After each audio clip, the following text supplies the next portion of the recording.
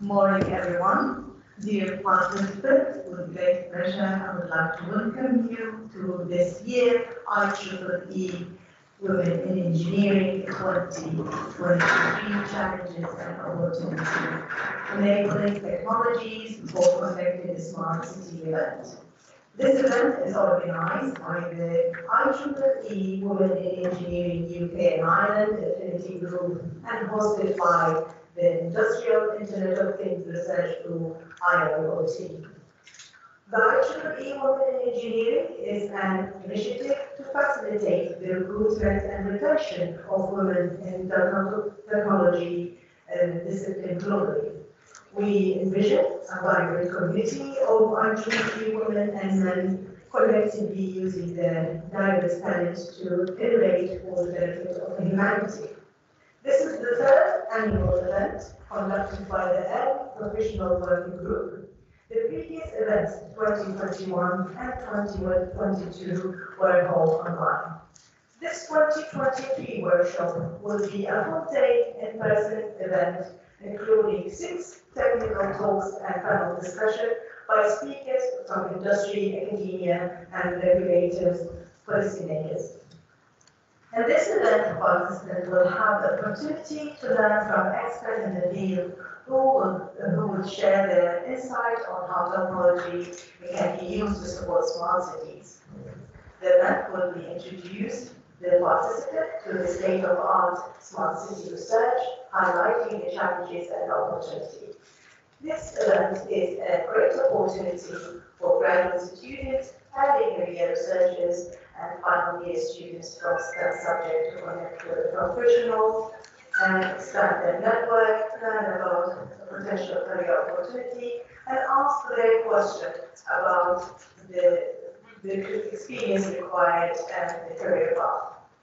I would like to thank our speakers and participants, especially those from industry and academia who dedicated their time today to engage in this activity I would like also to thank the IEEE uh, United Kingdom Ireland Students Branch representative and the India IEEE Students Branch representative to attend our event. Once again, welcome to this session and I wish you all a fruitful and engaging session. I would like to introduce my colleague Muna Jabber. She's one of our steering committee member. She can talk about the activity we are doing in our work group.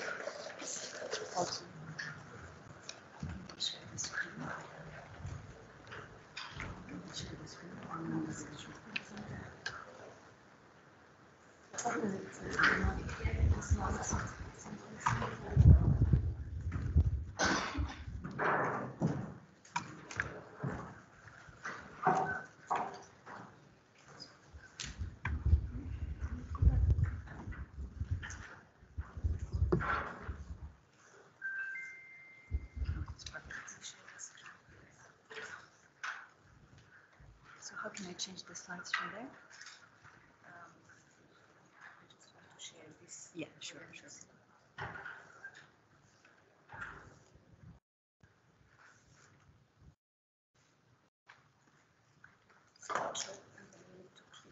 Tell me. Um, maybe I can just take the mouse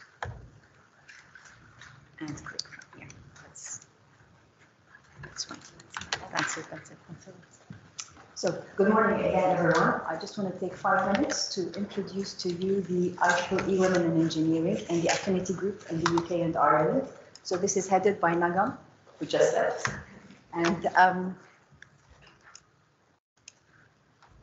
um, so there's 15,000 women in engineering, and our objective in this effort is to promote more women, to include more women in engineering, not because we think that women are better or different. It's just to have equality and to have inclusivity and to have diversity in the engineering team. We believe that having this diversity and inclusivity produces better engineering. And this is the objective of, of this group. So just to, um, so these are the committee members, um, and uh, we're all based in the UK, all around. um, some of the activities that we do. So these are just some, some images, and you see that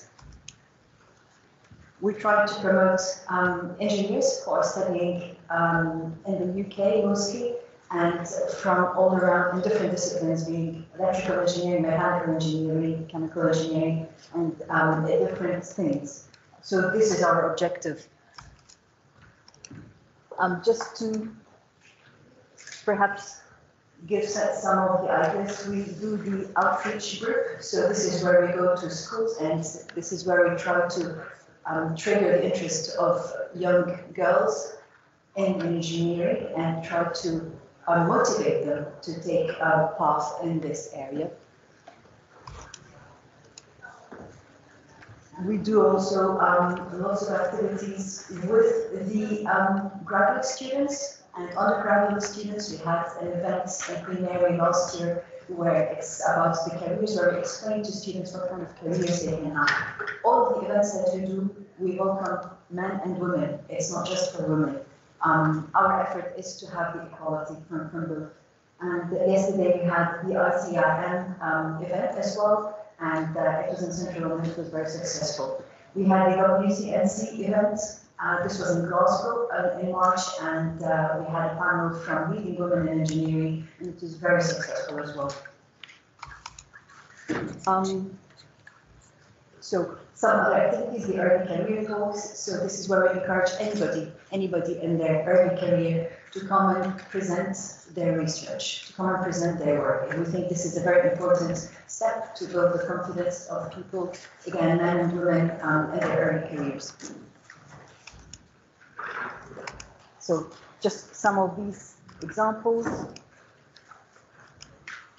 The award scheme, so we also, every year, we make it a point to award uh, leading women in engineering, and this is the award scheme um, that, that we have. So we have four different awards that, uh, that, that we select every year. And I think, yeah. So I'm going to stop here and uh, give introduce Yes, so I'm going to uh, let Professor Izzet uh, introduce the IEEE. Professor Izzet is the chair of the Region 8 IEEE, and he will uh, talk to us about the IEEE activities. Thank you very much for listening.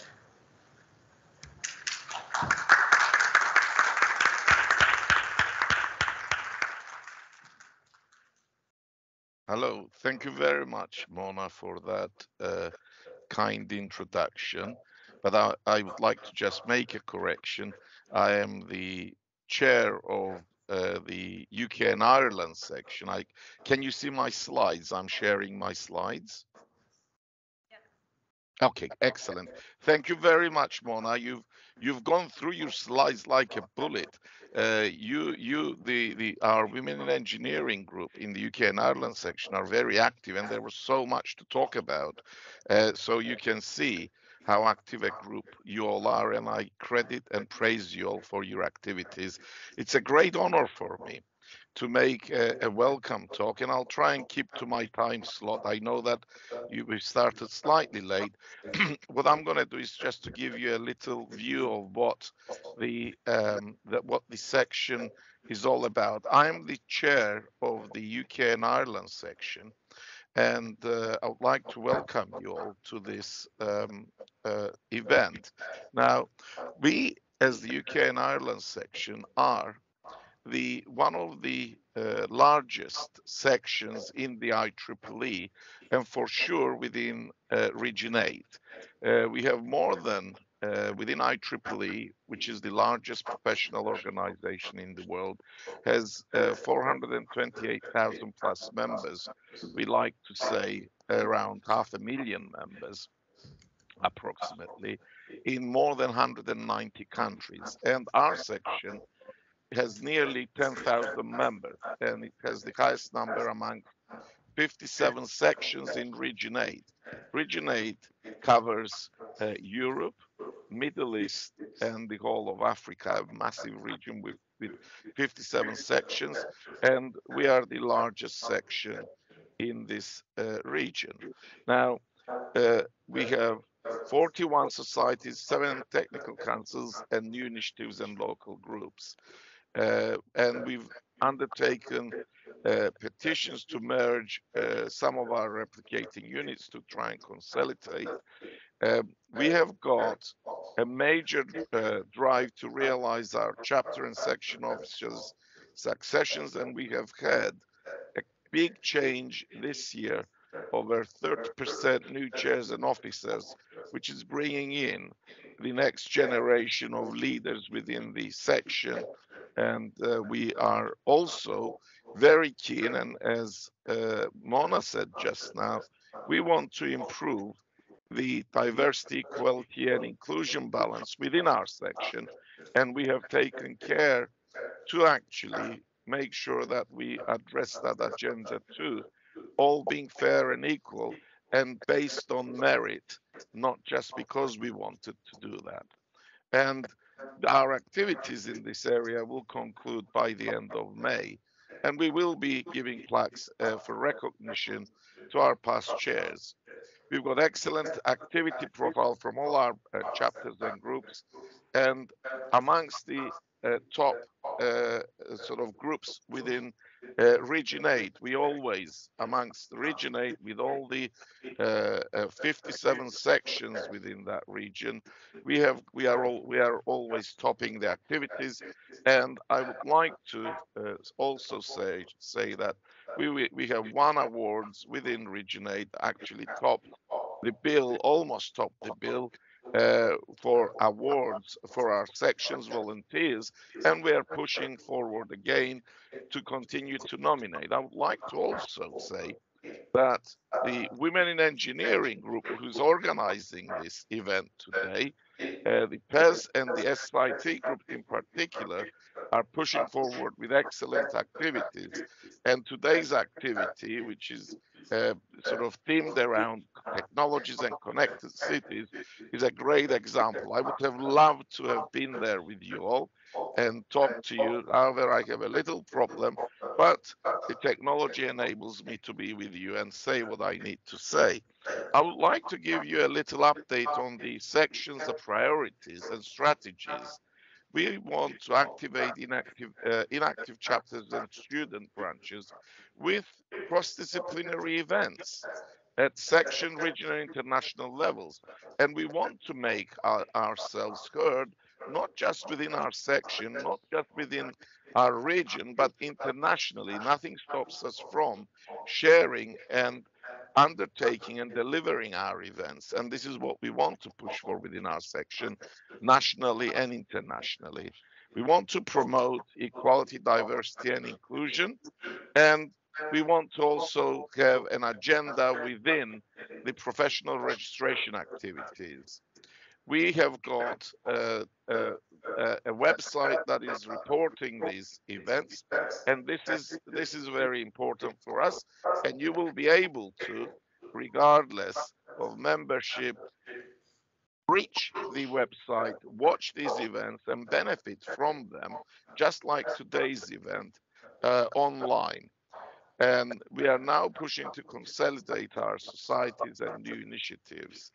And we're going to create new award schemes within this section for the chapters that deliver most events in a year to intrinsically facilitate and support other chapters. So we are going to award those who are doing great work and say to them, can you help the others to do as well as yourself? So we are going to uh, give positive feedback for all in terms of support. And we are also going to be recognizing our long-serving members. Our conference sponsorships are going up and we are reviewing our bylaws to ensure that we do things by the rules and things are done correctly. And what we are doing is to basically uh, make sure that when we sponsor conferences, we have a good understanding of what we are doing and how the chapters will get involved. And I think I would like to give credit again to our Women in Engineering group because they have been in the forefront of sponsoring a number of conferences and they understand the difficulties. But at the same time, it basically gets us involved in large events and gets us heard and gets us to be known and participating and contributing to international conferences. Uh, I would like to say that I'm really uh, happy that we are initiating more and more face-to-face activities. And you know this is now in full swing.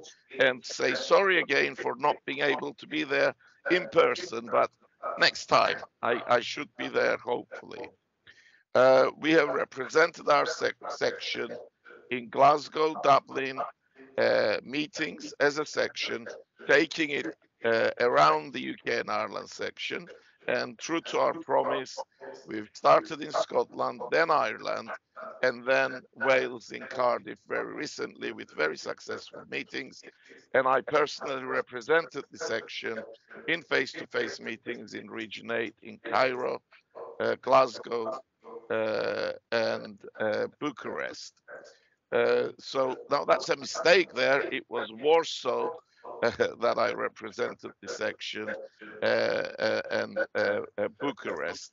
There's a mistake there. We shall continue to support our young professionals and student branches, and it's extremely important to note that our student branches have a very healthy mix of young and upcoming individuals who are our future within the IEEE, and we have a very strong support for our uh, young professionals and student branches. And this is extremely important for us. And I would, I would have given a very positive face-to-face message with all to all the students there. So I call upon all the students and young professionals to engage uh, with our new leadership. And I'm not sure if our leadership is going is there, but they're very proactive. We've got Alina Serban and Yinka two very dynamic young uh, sort of uh, student or just finishing off their PhDs that are leading our student activities. Please engage with them because there is lots of opportunities. Uh, we are continuing to do milestone events and we are the top section in Region 8 for having 20 plus milestones which commemorate historical inventions within the UK and Ireland section with plaques. So that's an excellent uh, achievement for us. I would like to also say that we have got our traditional Christmas lecture, which happens in December, every December, at the historic cinema in Regent Street. And please be aware and plan for that. It happens in the second week of December. You'll hear about it very soon with a distinguished lecturer to come uh, and give us a, a, lecture. I would like to say thank you very much for listening to me. I'm here to help. You can contact me anytime at my email as given there. I'm always happy to hear from you with your ideas that will contribute to delivering furthering our mission and priorities for this section and I will answer questions perhaps later on uh, if there are any. So I wish you a very successful day and event, and I look forward to listening to some of the talks. Thank you.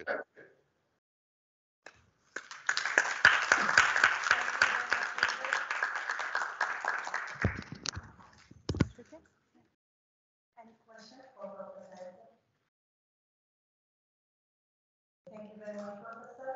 We just really wanted you to be here today with us, but maybe next time. So uh, I would like to ask Professor Phil, just the head of our school, School of Computing and Engineering, to do the opening remarks. Thank you very much.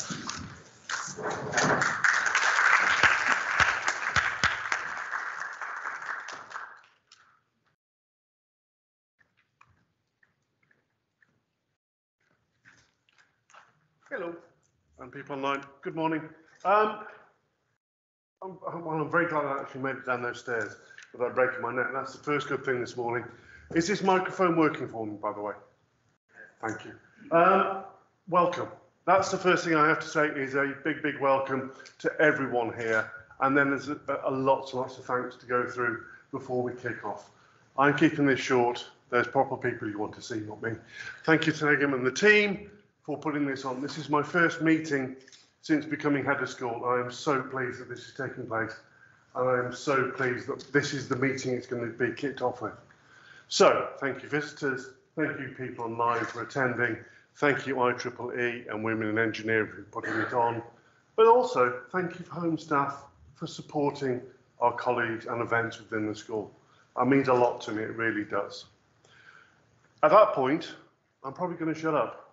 Um, apart from one thing, the most important thing a head of school can possibly say, if there is a fire alarm, we do not have any fire alarms planned, so please make your way out. There are fire wardens in the building to assist you. If you're online, please make your own domestic arrangements. Tea is next door and coffee is next door and toilets are through there. So I know my place. I know what I have to do. Have a great day. Look forward to meeting a few of you over lunch, etc. Thank you. See you. Bye. Another big task. I've been asked to introduce Sarah, who's uh, going to be the uh, Vice Chair for Communications and Outreach, who has a video message to be played forward. Thank you. Anything else I've forgotten? Yeah, I'll catch you later. Thank you very much.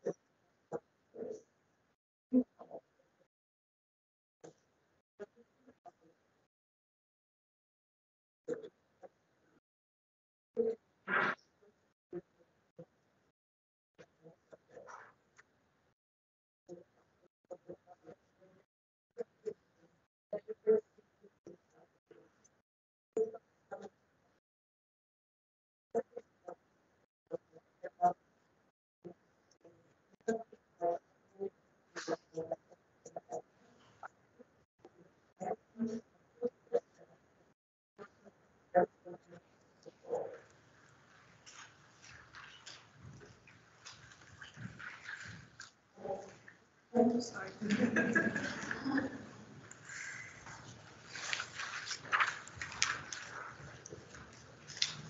Hello, everybody. So uh, I'm Emmanuel Dasuki. I'm leading the digital transformation in Vodafone UK.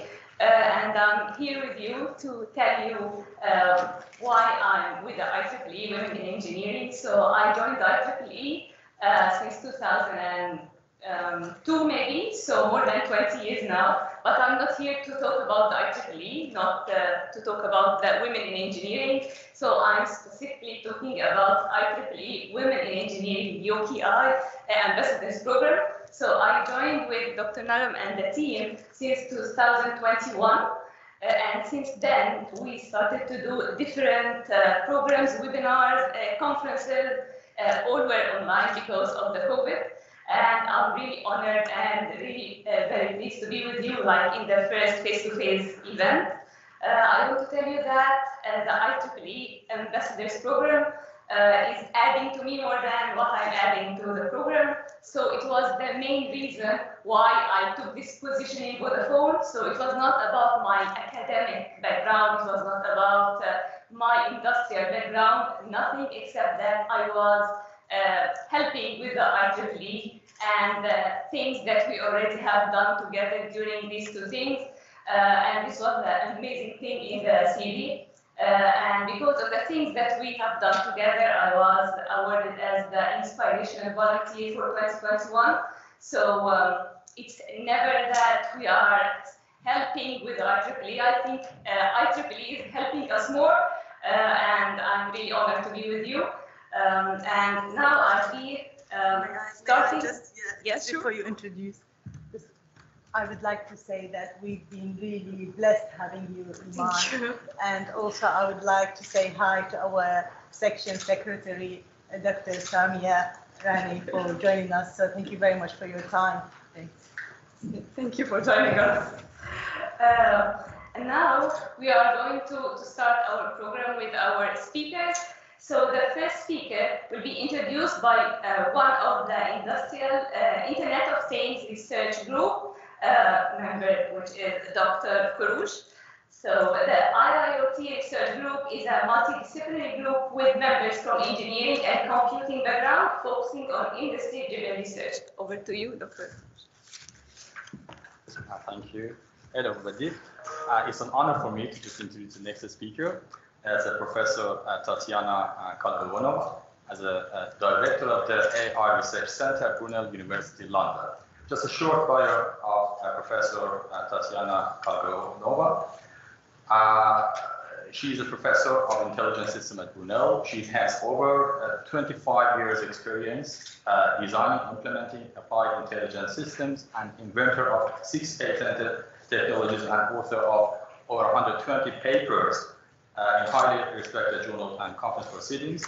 And she and her team at Brunel has got lots of like successes and achievements, just including uh, just a few of them. Champions of uh, 2019 Microelectronics Supply Chain uh, Provenance Challenge, ranked number one and ranked number two overall for novel ensemble-based deep learning approaches, ranked number one uh, for uh, hybridizations, LSTM, and capsules uh, for change count uh, and outlier detections for uh, data sets, and following optimizations and graph uh, mathematics into Caterpillar Currents and Gemstone uh, supply chain optimization process resulted in multiple internal and external international awards, including 2016 Caterpillar uh, Chairman's Award for Business Innovation, 2016 Global uh, Excellence in Analytics Awards, 2017 finalist for the INFORMS Innovation in Analytics Prize, and 29, uh, 2020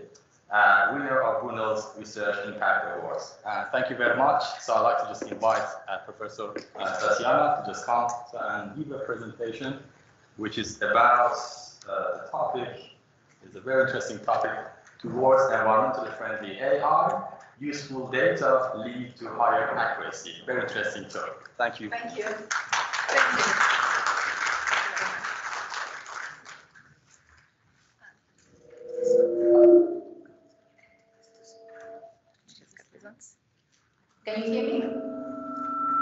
Can you hear me? Better now? Which one you prefer? The second one, yeah? I'm afraid technology doesn't work today very well, so we'll just decide, okay? You, you, you hear me better now? Okay. Okay, thank you very much for introduction. Just listen and always I was just impressed how well you present myself. So it's about presentations that's coming up. Uh, we are coming from AI. So nowadays, like any any area you will touch, we'll be speaking about AI. Healthcare, construction, uh, business, finance. So anywhere we'll be looking, we are looking on AI.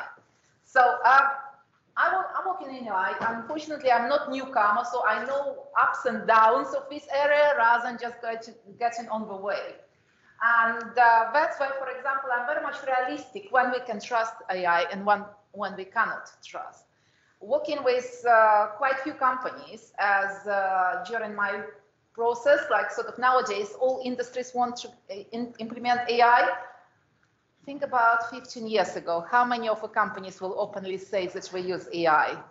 Not really a lot, yes, but we will use it. But at the same time, while we were doing this, I was discovering quite a lot of uh, challenges that we need to overcome even before coming on.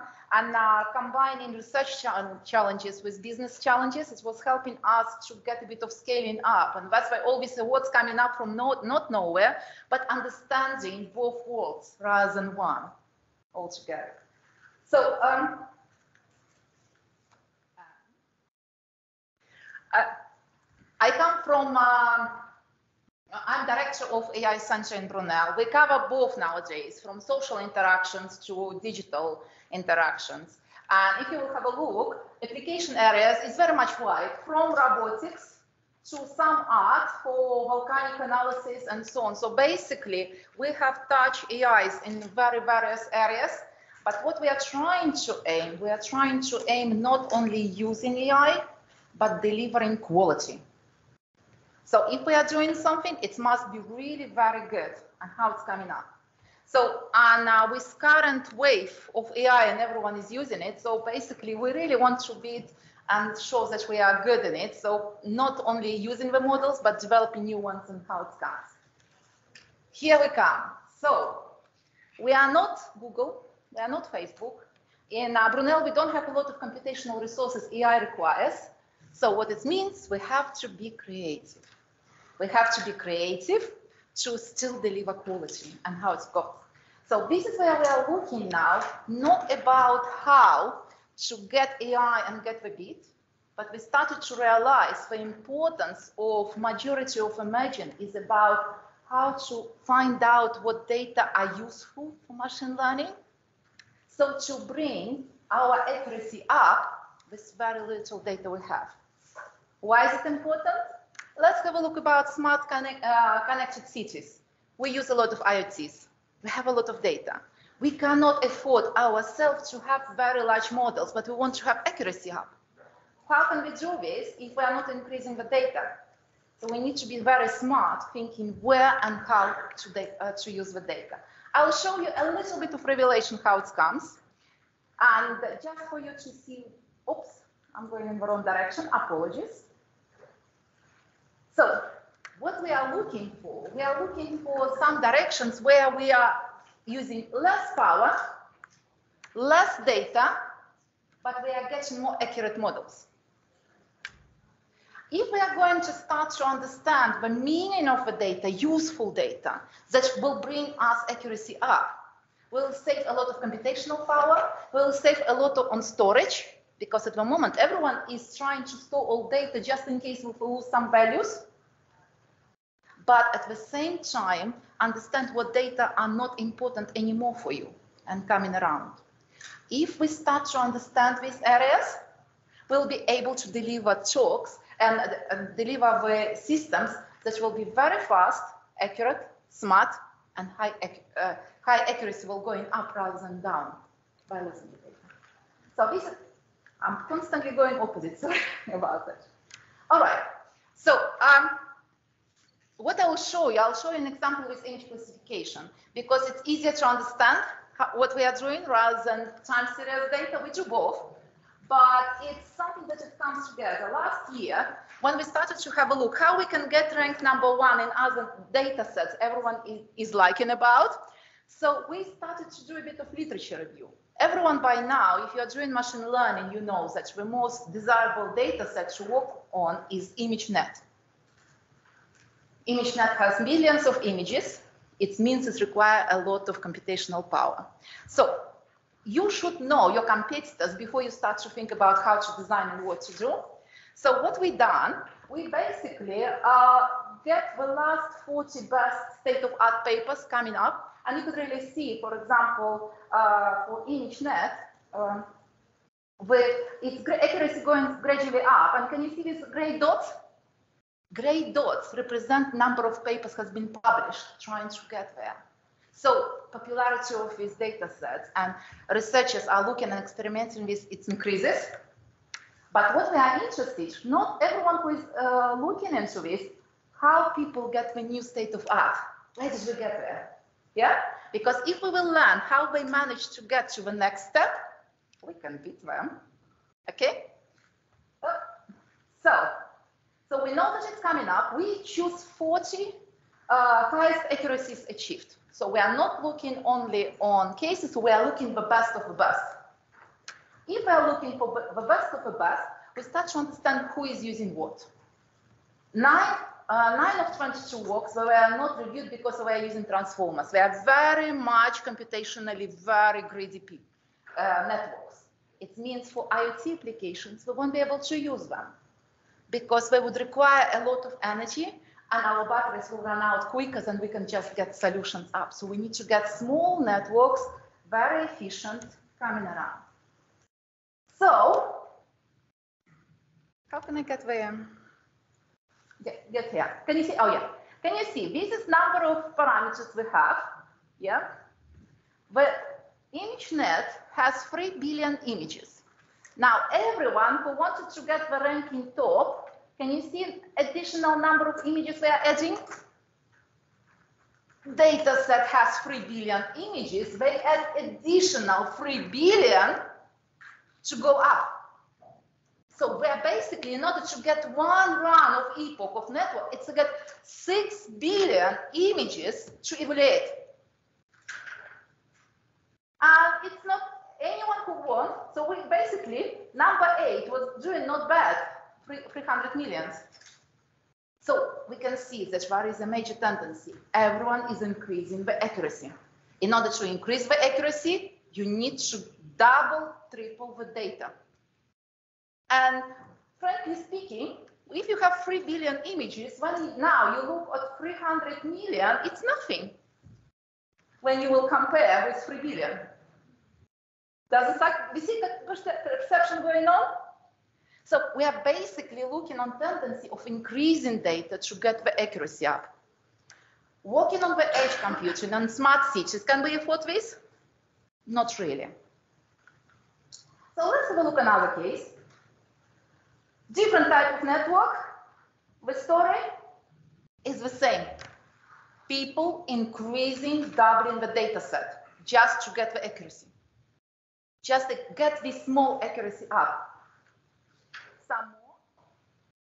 Not bad. So basically, one, after these two examples which I showed you, when we are speaking about 300 millions adding up, it's absolutely nothing. Just to get the accuracy up and beat the next state of art. Okay? So we start to understand we need to add more data. Adding the data, it means additional storage, it means computational power and resources. It's good if you have it, it's not if you're not having.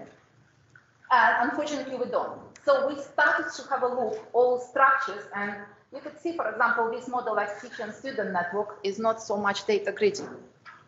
But the ranking is not near of number one or two or three. So five, six is good, but it's not getting there. If we will have a look on accuracy ranking and number of data it comes, parameters necessary, can you see? Everyone it gets in top 10, it gets very high number of data required. Can you see it? So basically, closer you are to the new state of art, more data you have to add. Otherwise, you will not get anywhere. Well, if I start to think about this, I start to think about how much computational power I need. We calculated this for 3 billion images. Yeah? So if I will be using TPUs of version 3 core graphics, we, I would need to spend about $300,000 to pay to Google to run one run on ImageNet. No one is going to fund us this type of money to get one run. And anyone who is working on AI, will one run be sufficient for me? No, forget. So basically, we are immediately out of competition. Okay, now, okay, fine. So we have consumer GPUs in our center. So, so we have consumer GPUs in our center. So uh, we calculated we'll need to have 18 years to run these winning models just to have one run. We double checked who were number one, two, three, four in ranking. Any wild guess who was there?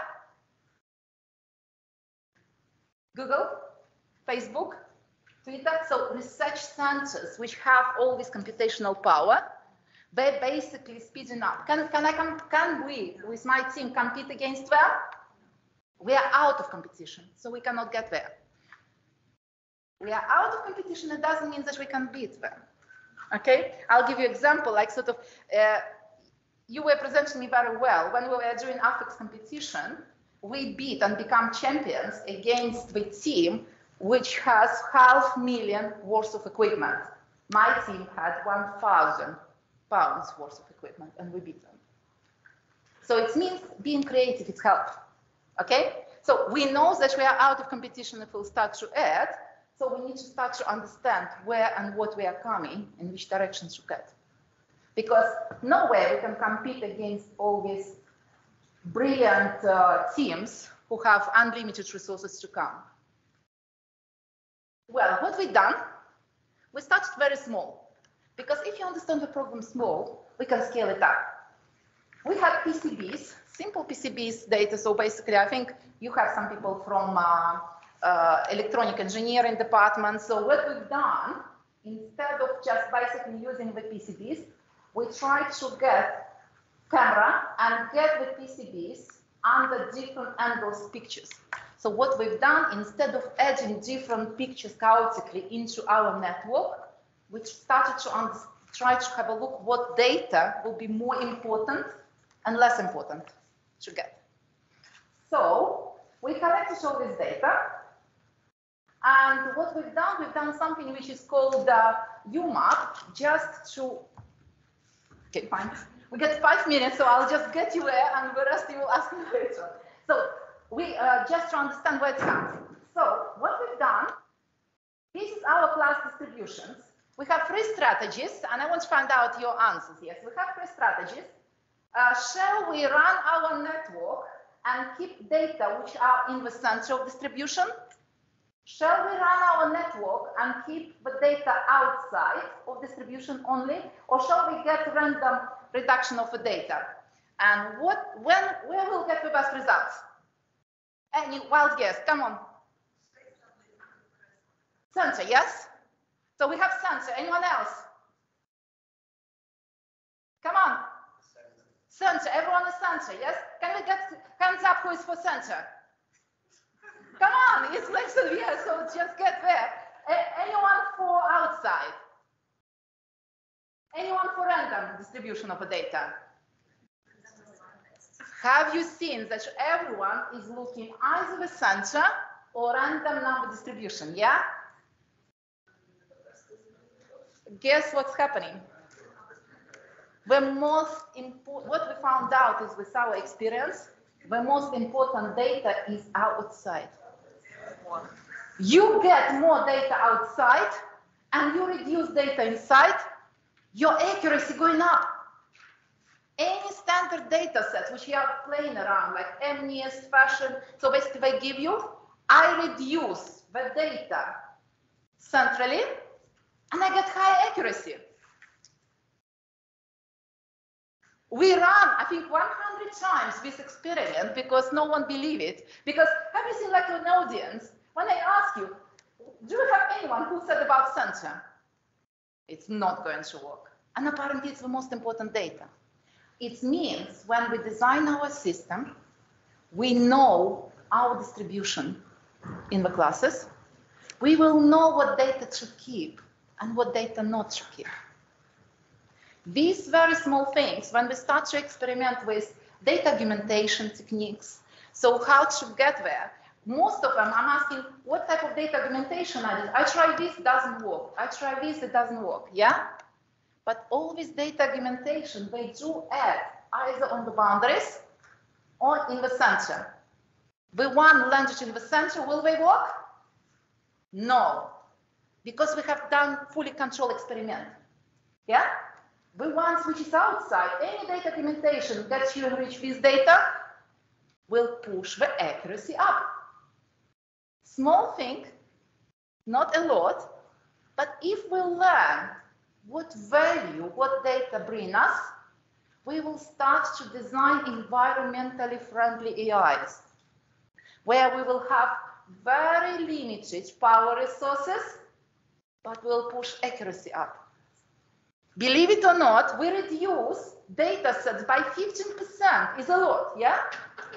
And we get better state, new state of art by not adding the data, reducing the data, but reducing data intelligently. I think I get my five minutes, yes? All right, so this is our message. I have far more to say, but it's if you're interested, come back to me on the lunchtime and we can speak around. Okay? So remember, outside, not inside the data. Thank you.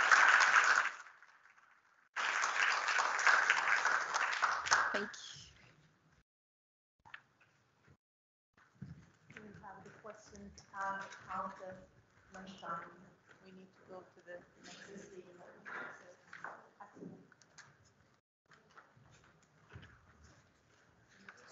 So the second speaker is introduced by Dr. Asya, one of the Water Energy Food and Nexus research team. The team is aiming to optimize the interlinkage and interdependencies of these three resource sectors. Thank you. Hello, everyone. Uh, my pleasure to introduce our next speaker, Dr. David McKee. Um, he is going to talk about capabilities to twins for smart cities. Uh, Dr. McKee is the CTO and founder at Slingshot Simulations, which specializes in building digital twin solutions for cities to support their net zero journeys. He is also the OMG Digital Twin Consortium Capability and Technology Working Group Chair he has led their work on defining the best practice reference architecture. David is also one of the leading members of the Responsible Computing Initiative. He is a Royal Academy of Engineering Enterprise Fellow and alumnus from the University of Oxford Saïd Business School Creative Destruction Lab. David is also a guest lecturer on digital twins at the Universities of Leeds and Oxford. Thank you. Thank you. I'm not going to try and use this microphone based off the previous, uh, experience.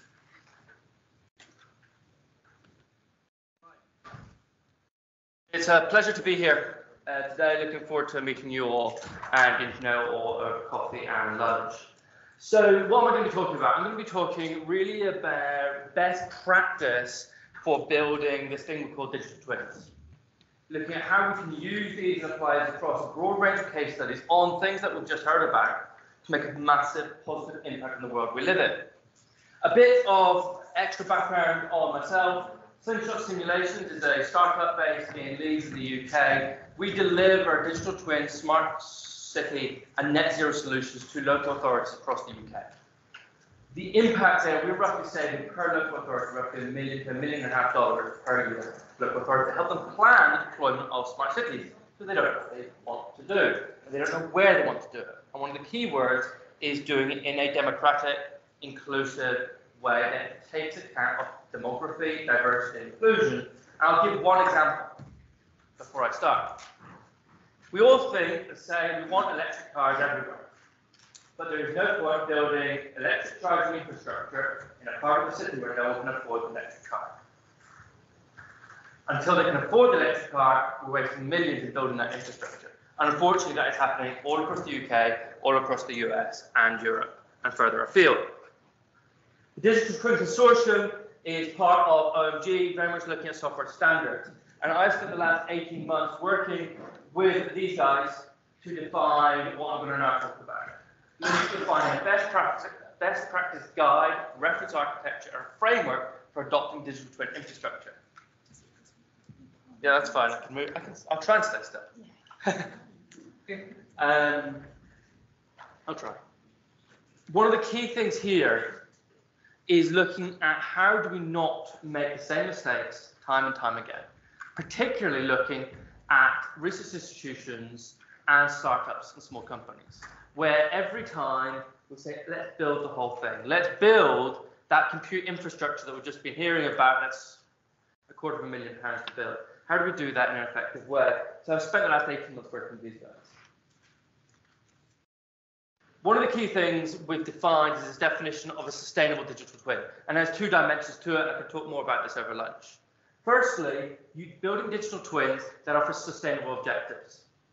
Not just building for smart, smart cities, not just for mobility, not just for whatever other use case, but actually targeting value and impact on the world we live in. But also building in a responsible computing fashion. And I'll give one more stat.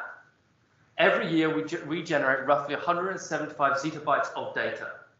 That generates, to store that, just on hard drive spinning, 6.4 million tons of carbon per year. That is equivalent to the 80 smallest countries' cumulative carbon emissions. And as the UK, we are probably responsible for a rather large amount of it. So this raises a big question of how we do it. And digital twins are part of that. Let me dive into the capabilities piece. So over the last 18 months to two years, we've worked with my colleagues across 270 CTOs to define a periodic table. This has two layers in it, and we won't go into all of it. Well, what we have found is across every single one of those businesses, every single one of their products will fit into a subset of this periodic table. And the reason for doing this is when we're trying to engage stakeholders, whether this is funders, whether this is governments, we're able to talk about the case studies at this high level objective that everybody can understand, rather than me talking about regression or principal component analysis or co-simulation or simulated annealing, whatever other technique that is actually of interest to me, because the funders or the clients don't understand. And I'll give a case study in a second. This has been very useful. What we've found is that virtually every single example that we work through will have a capability from at least one, one capability in each of these colored sections. At least one, typically two or three per colored section. It's a very powerful exercise, and we've found that in terms of scoping your technical requirements, we've found that this can reduce that scoping exercise from six months to typically two to three weeks in terms of engaging stakeholders. We then extend this framework and we've taken it even further. We apply this across a best practice reference architecture. We've also done in partnership with the IIC, which is responsible for the Industry 4.0 program out of Germany. And defining a guide where we see, again, simple terms, how do we engage stakeholders, and then diving in more depth. What are the key building blocks for building these architectures? Because the reality is that someone who's been building these systems, if you start from a blank piece of paper, you always forget something no matter how much you try. So building this best practice guide, and there's white paper coming out on this in a couple of weeks' time. Um, but there's also a few webinars as well that go through this. This was co-architected with myself, Dell Technologies, Microsoft, and Bentley Systems, who are one of the leading proponents of simulation for cities. The key elements here, a lot of it's very obvious. We have an IT platform, we have to run these things in an efficient manner, but the most important element is the synchronization, which you'll see in the top right. Because one of the key elements is how do we get data into these systems? We're talking about machine learning. How do we get that volume of data across our networks in a timely manner? Is it real time? Is it soft real time? Is it hard real time? Do we not really care? Is a floppy disk good enough? Um, I have worked in situations where only last year we're still using floppy disks. Um, how do we do that? How do we manage that? Is this a factory setting? Is it transport? Actually, do we do we care? How quickly can we respond to these systems? Has a lot of implications. And that purple box there on the top right has more design decisions than the rest of it put together in our experience into how we manage to get that data across. So let me talk through some examples. And I'm going to talk through an example that we finished um, at Slingshot just last year, and this is following the same framework. So here we're looking at North Northamptonshire, a part of the UK, just north of London here, and looking at how do we help them plan for the net zero journey. First of all, we'll start by looking at the capabilities that they are interested in. Again, engaging the stakeholders. Who are the stakeholders? Politicians, civil engineers, and geologists, not a single software engineer, computer scientist, electrical engineer in the room or anywhere near the project. So actually going through this allowed us to very quickly, and this was done in half a day. We didn't have long to do this. We needed to deliver a full result, working solution within four months. We couldn't waste time. Go through this process, actually found we missed a couple, fill it out, and identify these are the key elements they needed for their digital twin for net zero planning to hit their targets by 2030. We're then able to apply that into technology selection, apply Slingshot's technology, open source technology, and others to look at how we deliver an impact. And this solution has now been deployed in Corby, and we've identified that within the first year, they will be able to find 3.4 tons, which isn't very much, 3.4 tons of CO2 savings immediately. And that's before they build anything.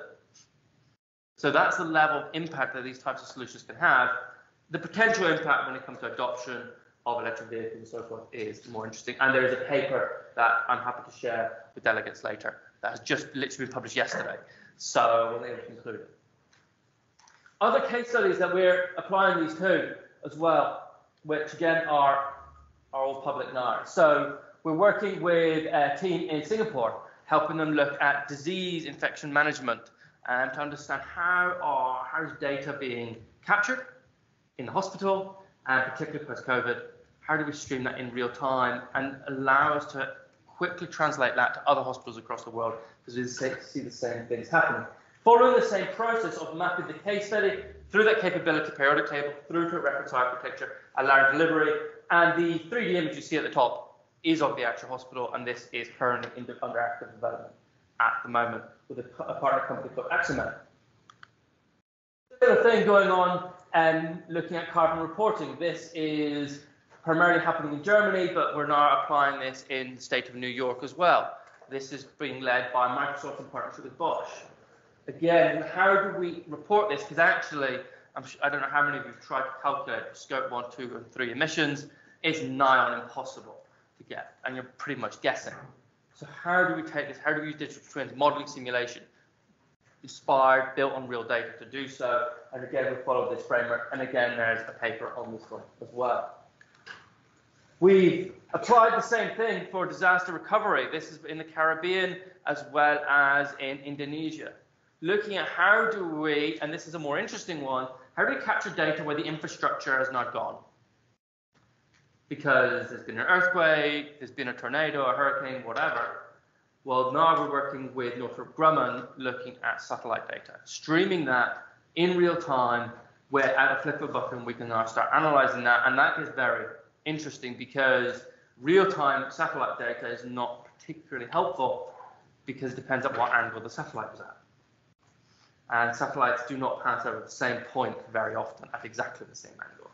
So from a computer vision, machine learning perspective, it's really, really hard. You have to use techniques like INSAR and so forth, but you need eight weeks of data to do that. Not particularly suited to responding in real time to a hurricane that's just come through and saving lives. But building these systems to now be preventative, predictive, so we can start recording the data until the point that the infrastructure disappeared and then augment with new data as we go through. And this is one that I'm more personally uh, deep, uh, deeply involved in, which gets really interesting from a legislative perspective. So here we're looking at the infrastructure of buildings. This is again in New York, and this is part of a program that's been legislated by the state of New York, which says by 2030, all school buses have to be electric. There are just over 10,000 school buses, and at the moment, only 100 of them are electric across the state, which means they're going to miss their targets by a mile. However, they have no, no charging infrastructure, and they're therefore looking at possibly can they go to hydrogen, but they're not allowed to bring hydrogen into the city to charge and fill. And that's been legislated since World War II. So how do we prove a safety case that it's actually safe to bring this hydrogen into the city so you can fill these buses? It's not as explosive as it used to be. We still don't want to blow up a city block for, with good reason. How do we do that? How do we model this and then track it all the way through? But it turns out that that infrastructure also allows us to power entire city blocks with clean energy. So the impact is massive. And we're testing this in the Brooklyn Navy Yard, which is an innovation space, um, where one of the big food manufacturers has actually provided some of their facilities so that we don't have to bring it by the road, so we can ship it in instead. Hopefully, I've gone quite quickly and conscious of time, but I wanted to give a kind of feeling of where we're seeing digital twins, where we're seeing that approach. I'm happy to talk through it in more detail later. How we're taking capabilities through a technology selection process, and what we're able to find is that working with academics, working with researchers, industry across the board, we're able to move to value creation quickly. And that is the key thing: is we're not interested in building digital twins that will deliver value in three years' time it's deliver value in three weeks and continue delivering value for the following three years. And I will leave it there. Thank you. Thank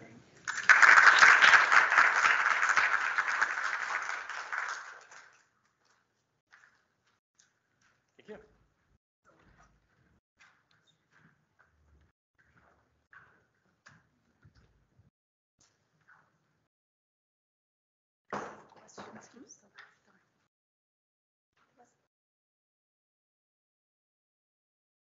So the third speaker is introduced by Women in STEM Chair, Dr. Anastasia. Women in STEM is a committee stemming from the School of Computing and Engineering at the University of West London with the main aspiration and objective being to provide inspiration and motivation to women and young girls, encouraging them to pursue studies or career in the science, technology, engineering, or mathematics subject area as per the uh, expertise and field uh, specific, uh, specialized of the existing members.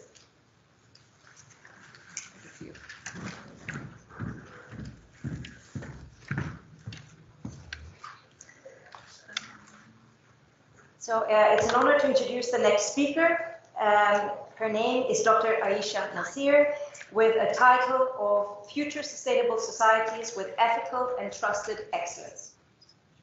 Dr. Aisha Naseer provides strategic direction and expert advice in various industries with a particular focus on AI ethics. Dr. Naseer was celebrated as one of the top 100 brilliant women in AI ethics in 2022 in global recognition of her work in this field. She's a member of the MIT Sloan Management Review Responsible AI Expert Panel and also a member of several AI standardization bodies, including the International and European Standardization Joint Technical Committees at the British Standards Institution. She's the Director of Research at Huawei R&D UK, where she provides strategic direction on AI research and innovation as part of the company's work around the development of responsible AI. Dr. Naseer is a founding editorial board member of the Springer Journal on AI and Ethics. She sits on, on all party parliamentary group on data analytics, and her profile interview has been published as Inspirational Women at We Are Tech Women amongst inspirational tech advocates. We welcome her. Thank you. Hello, um, and good morning. I hope the uh, sound is clear. Um, if it's not, please let me know. I hope everybody can hear me.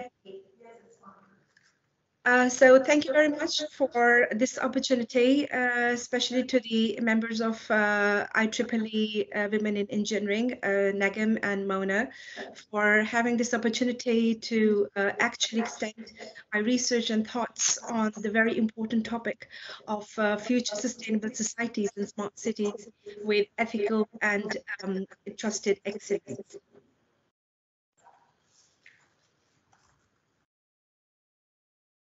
I hope the slide uh, changes. Could you see the next slide? So within the uh, smart or sustainable societies of the future, we could envisage that many uh, of our normal or day-to-day uh, practices would change in a way that we would have uh, more reliability on technology. We would have more reliability on the models that are generated by AI in every sector of the uh, daily life of a person, for example, retail, automotive, um, healthcare, uh, jurisdiction, schooling, shopping, whatever you name, um, are already being impacted by the artificial intelligence. And we can see that how this has influenced the way we live today. This has influenced the way we use technology. This has influenced we use the uh, traditional um, uh, political systems or uh, geopolitical landscape that has also changed. So you can see how uh, we are uh, getting into an era with more uh, and more reliability on the artificial intelligence. And AI uh, is nothing without data. So as the previous speakers have also mentioned about the data and how the large volumes of data are being generated a daily basis. The challenge here is that how do we use these large volumes of data to uh, assure sustainable societies? And also, do we need to enable trust in AI? And if we do, how do we do that? And also, um, are we going to go beyond the sustainable society? So uh, UNESCO also talks about uh, sustainable development programs, sustainable societies, but do we also think about trusted excellence in sustainable societies? Because without trust, we cannot have uh, sustainability that can be a guarantee for the future uh, societies. So the science behind the data is uh, mainly, it's, it's a lot and it's being generated, as I said, on a daily basis. We need the data to generate action insights. We need the data to solve complex AI problems. We do need the data uh, for sophisticated AI models. Without the data, we don't have uh, an, an, an adequate outcome from an artificial intelligence system or algorithm. So data is the key, and uh, there is a growing trend of making these data publicly available as well. And you could see all these initiatives. You can search them, Google them online. So some of the very common, um, um, you know, statements I've heard is that is data the new plastic? It is. Many people have been commenting on this. There are lots of books published on this. And what we mean by data is a new plastic. The data is a new plastic because it's being generated. We want to keep it. We won't want to throw it away. But then how do we manage it? How do we keep track of what we're doing is ethical? How do we keep track of uh, all the different, um, uh, you know, uh, trends and issues that come with it? So you can see on this slide, it's kind of three different aspects. The professional aspects, the legal aspects, and the ethical aspects to do with the data issues. And I would not go into the detail, but by all means, please uh, feel free to take a snapshot if you want about the data quality issues, access issues, privacy issues, fairness issues, oversight issues. These are all there, like uh, you know, stars in the sky, and we hear about them on a daily basis in news, in media, in public uh, podcasts, in professionals and experts talking about it, even laymen talking about it. Even people like patients talking about where is my data? I need to have access to my data. You cannot do anything uh, with my data without my permission, without my consent. So these are various stories that we hear on a daily basis, and it makes it a serious concern. And um, the General Data Protection Regulation, GDPR, is, is also an example of a control management system that was brought into a few years ago. We talk about the rights of people. They have given eight rights to the people, the right of access, right of uh, information erasure, right of accountability, different rights that never existed before. So the, the, the old Data Act was modified to enable more rights for the people. Uh, there's a growing trend of making data publicly available, as we know, but with this comes a lot of risks. When data becomes publicly available, do we consider data minimization? Do we consider data anonymization? Do we consider uh, several aspects that need to be considered uh, within the need to trust within the need of morality, within the need for the dignity, because dignity is fundamental to human rights. As humans, we need to be respected, we need to be dignified. And if somebody or some organization or some entity, even an AI model, uses our data uh, without our consent, that is considered. So data cleansing, reduction, minimization, anonymization, and different techniques that can be used to, to, to manage it. Now, what about the data ethics? Do we consider that as important? Do we consider there needs to be some sort of ethical values around the usage of data? And does governance of data need to be in place? When when I talk about data ethics, uh, it includes factors such as you know accessibility, compliance, security, privacy, privacy, data quality, and integrity. And these are all interrelated. We talk about future cities, we talk about future sustainable societies. If there is no integrity, if there is no respect, if there is no dignity, if there is no uh, security and compliance, then how can we guarantee that the future cities would be sustainable and they would be trusted. When people are not satisfied, when they're not content that they can trust the, the solution they're going into. Uh, we go into the bank for a mortgage application or an, a loan application, and the, the person who's sitting in front of the computer screen says, Your application is rejected. Now what? Somebody has to tell me why it's rejected, right? Um, the computer doesn't say that you are accepted, so that's it. Bye bye. So, as a, uh, a citizen, as, as a normal person, my grandma, for example, needs to know why she's been deprived of this loan grant. And that is very important for ensuring the human dignity because we as humans need to know our rights and we as human need to know why this has been uh, taken away from me or i'm not allowed to do so there has to be some sort of explainability element which can enable trust and guarantee that we can trust these data so um, the data governance is important as well. I'll give you a little bit of uh, a snapshot within the uh, the global leadership landscape on the AI trustworthiness and ethics. Um, for for uh, for for for the sake of information, uh, there are several uh, initiatives not only on the national level but also on the national, international, and global level, which are working towards uh, the uh, trust and towards the uh, data ethical values. For example, the OECD, the UNESCO, they they publish recommendations, which has been taken up by over 200 member states as one of the top uh, one of the top uh, manifestos that can be followed for for the ethical and trustworthiness of data. We have the global sustainable goals, the UN SDGs, the European Commission has published their trustworthiness guidelines. So the challenges still prevail. We have not got a solution. The problem still is there that could we yet have actionable models without compromising the data privacy? And how do we manage uh, with efficiently the ever-growing data deluge? So these are still research problems for most of the students or for most of the researchers who want to explore this. Um, it, it's a very interesting problem to explore a little bit glimpse again about an initiative which is uh, conducted by Spanish government. Uh, it is the launch of the AI Sandbox. It's the world's first sandbox uh, on AI. Sandbox is an experimental testbed that has been launched in June uh, last year, and it would screen the high risk applications. So what they are using, their approach is a risk based approach. So from small, low risk to medium risk to high risk applications of AI, they would be screened and scrutinized against the AI Act, uh, the, the law, the regulation, and then the companies or the uh, developers of those applications would be allowed to put it to the market.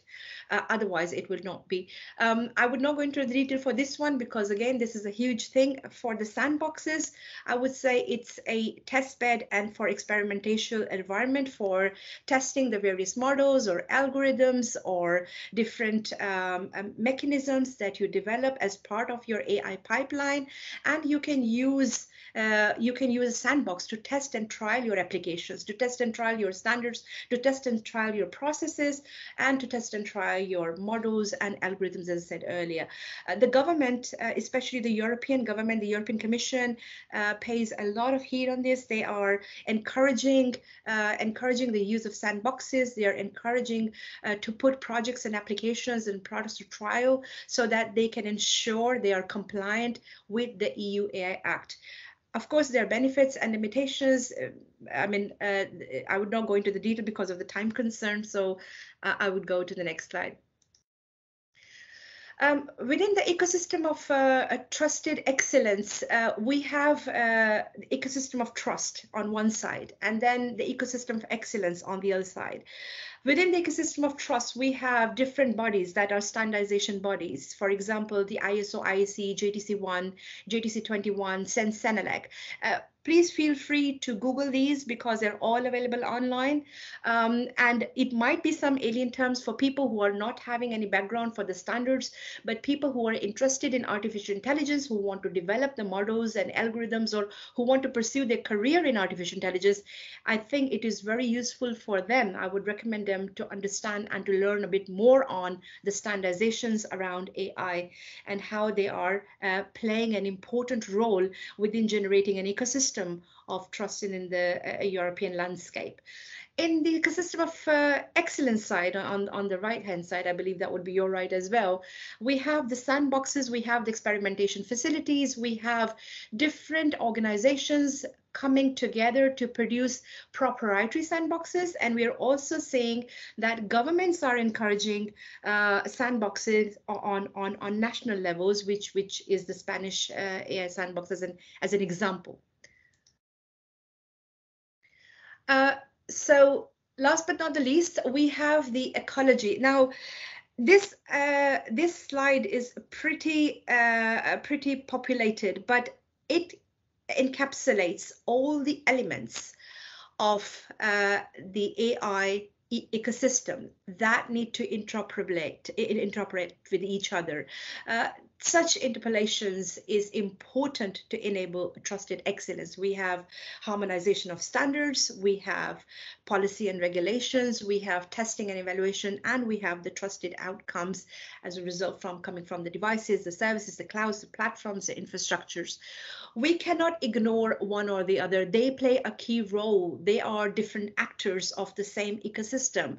And it's like a jigsaw puzzle. One breakdown, the other have an impact on it. So um, we, we have to consider that in order to enable uh, artificial intelligence systems that are trusted uh, and that play a vital role in sustainable societies, in future societies, it is imperative to build trust in them. It is imperative to have compliance with the AI Act, for example, and with general uh, legislative measures. Even for the UK, uh, in March uh, this year, last uh, a couple of months ago, March, March 2023, the UK government uh, published a pro-innovation approach to AI, and they have released their white paper.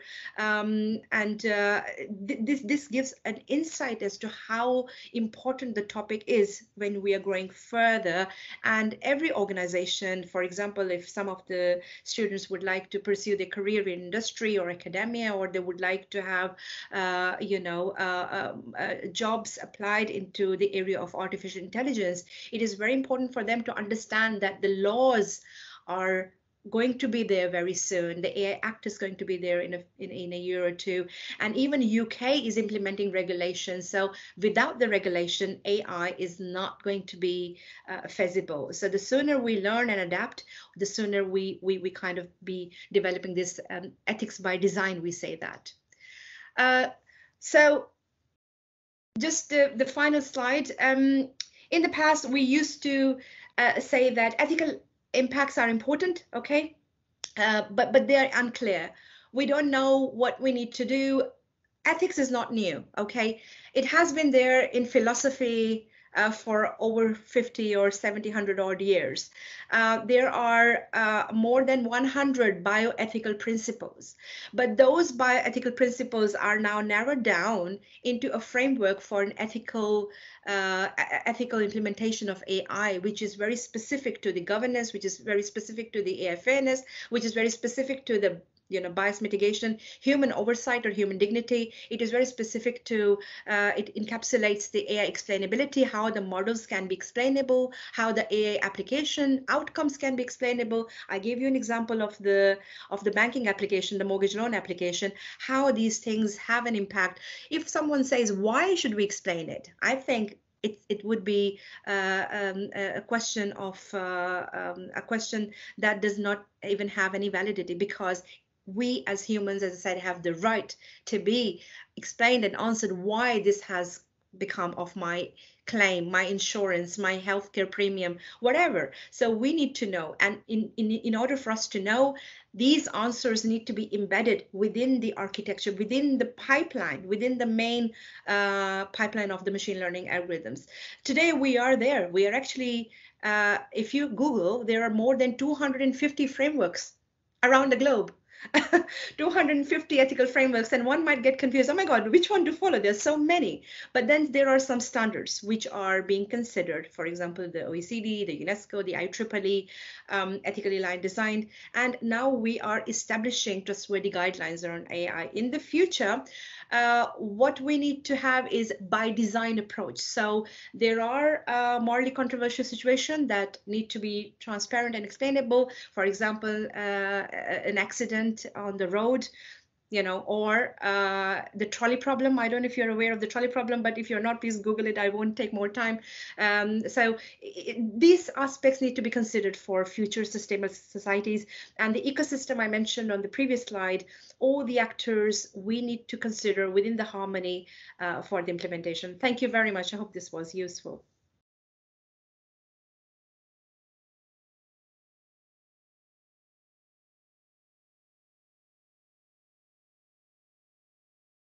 I cannot hear anything. so if somebody needs to unmute. yeah, thank you. So three minutes and we'll have that coffee break. So if we have any questions, so free to ask.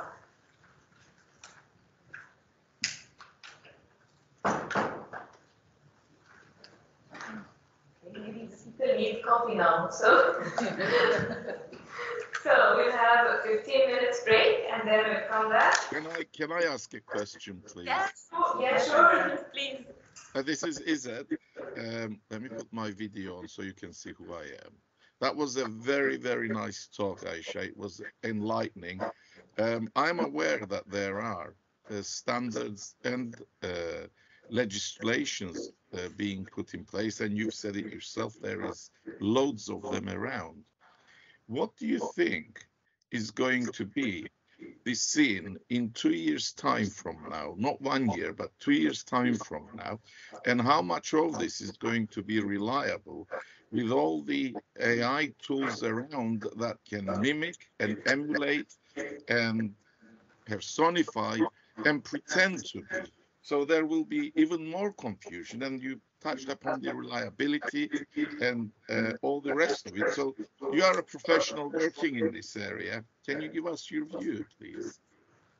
A very nice question, and thanks for asking. Um, within, I mean, the, the perspective of AI, it's it's very dynamic.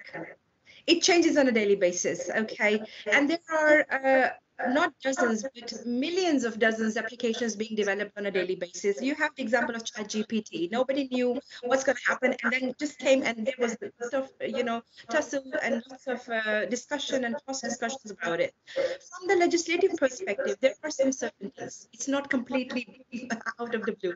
From the regulation perspective, especially the AI Act, uh, we can foresee, and based on my meetings with some of the members of the Parliament of the European Commission, we are expecting that to be in place by 2025, for example. So when that happens, the act is a regulation, it's a law. then things become more stringent they become more tight from the scrutiny perspective from the perspective of more control from the perspective that um, we will not be having a free uh, will market you know like anybody develops an application or develops a product and take it to the market and start selling it they would have to go through certain legislative checks. They would have to go through certain conformity assessment measures and compliance measures so that they they they are they are conforming. They are actually uh, you know matching the criteria. And then they will be assessed based on the risk. So if it is a very high risk application for example healthcare or you know somebody needs to make a decision about my hip surgery and you know it's very sensitive or it is less life threatening you know as compared to to, to this. So um, going two years forward there would be more stricter uh, legislative measures and more strict um, um, uh, you know, uh, conformity assessment measures. And also having said that, there, there is a call for, I think in one of the slides I did mention about the harmonized standards. So from the European Commission, there has been a call for harmonization, harmonization of standards. And that's where these bodies like ISO-IEC, JTC1, SC42, and the uh, JTC21, the CEN-CENELEC, they come into play because they are actually now, I, I'm also a member of these committees. So we are actually now developing the standard experts all around the globe developing the uh, technical specifications and the technical requirements around the standards which are important for the conformance of AI. So things are getting to a more mature uh, phase from that perspective. But which application will come, we don't know. I mean, it could be something completely different. It could be something like the next generation of the Chat GPT, which is not even considered by the standards. And we say, you know what, we haven't considered this in the standardizations. It's, because AI is not stopping. It's kind of going on and on and on. So yeah, but but but there is a need for ongoing efforts. Thank you for the question. Thank you for that answer. Very useful and shape of things to come. Very exciting. Thank you. Thanks again. Thank you, everyone. So it's coffee break now. So, Thank you. Thank you.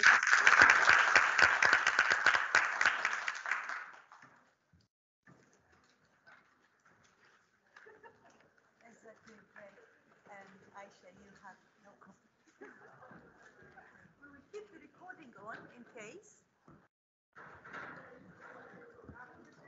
Ofcom. Um, she's at the UK Communication Regularity Ofcom. She leads the engineer team in support of uh, Spectrum work, provide technical uh, policy insight, test and measurement capability and contribution to international standard.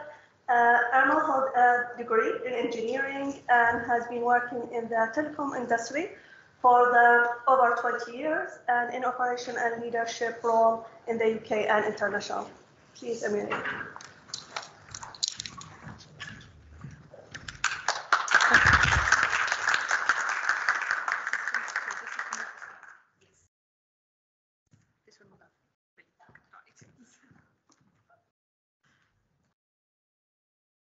Thank you so much. Can you hear me?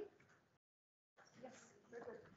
Right, so uh, first of all, I wanted to uh, to thank the organizers for inviting me uh, today, and I think this is an excellent uh, initiative, this uh, IEEE Women in Engineering event.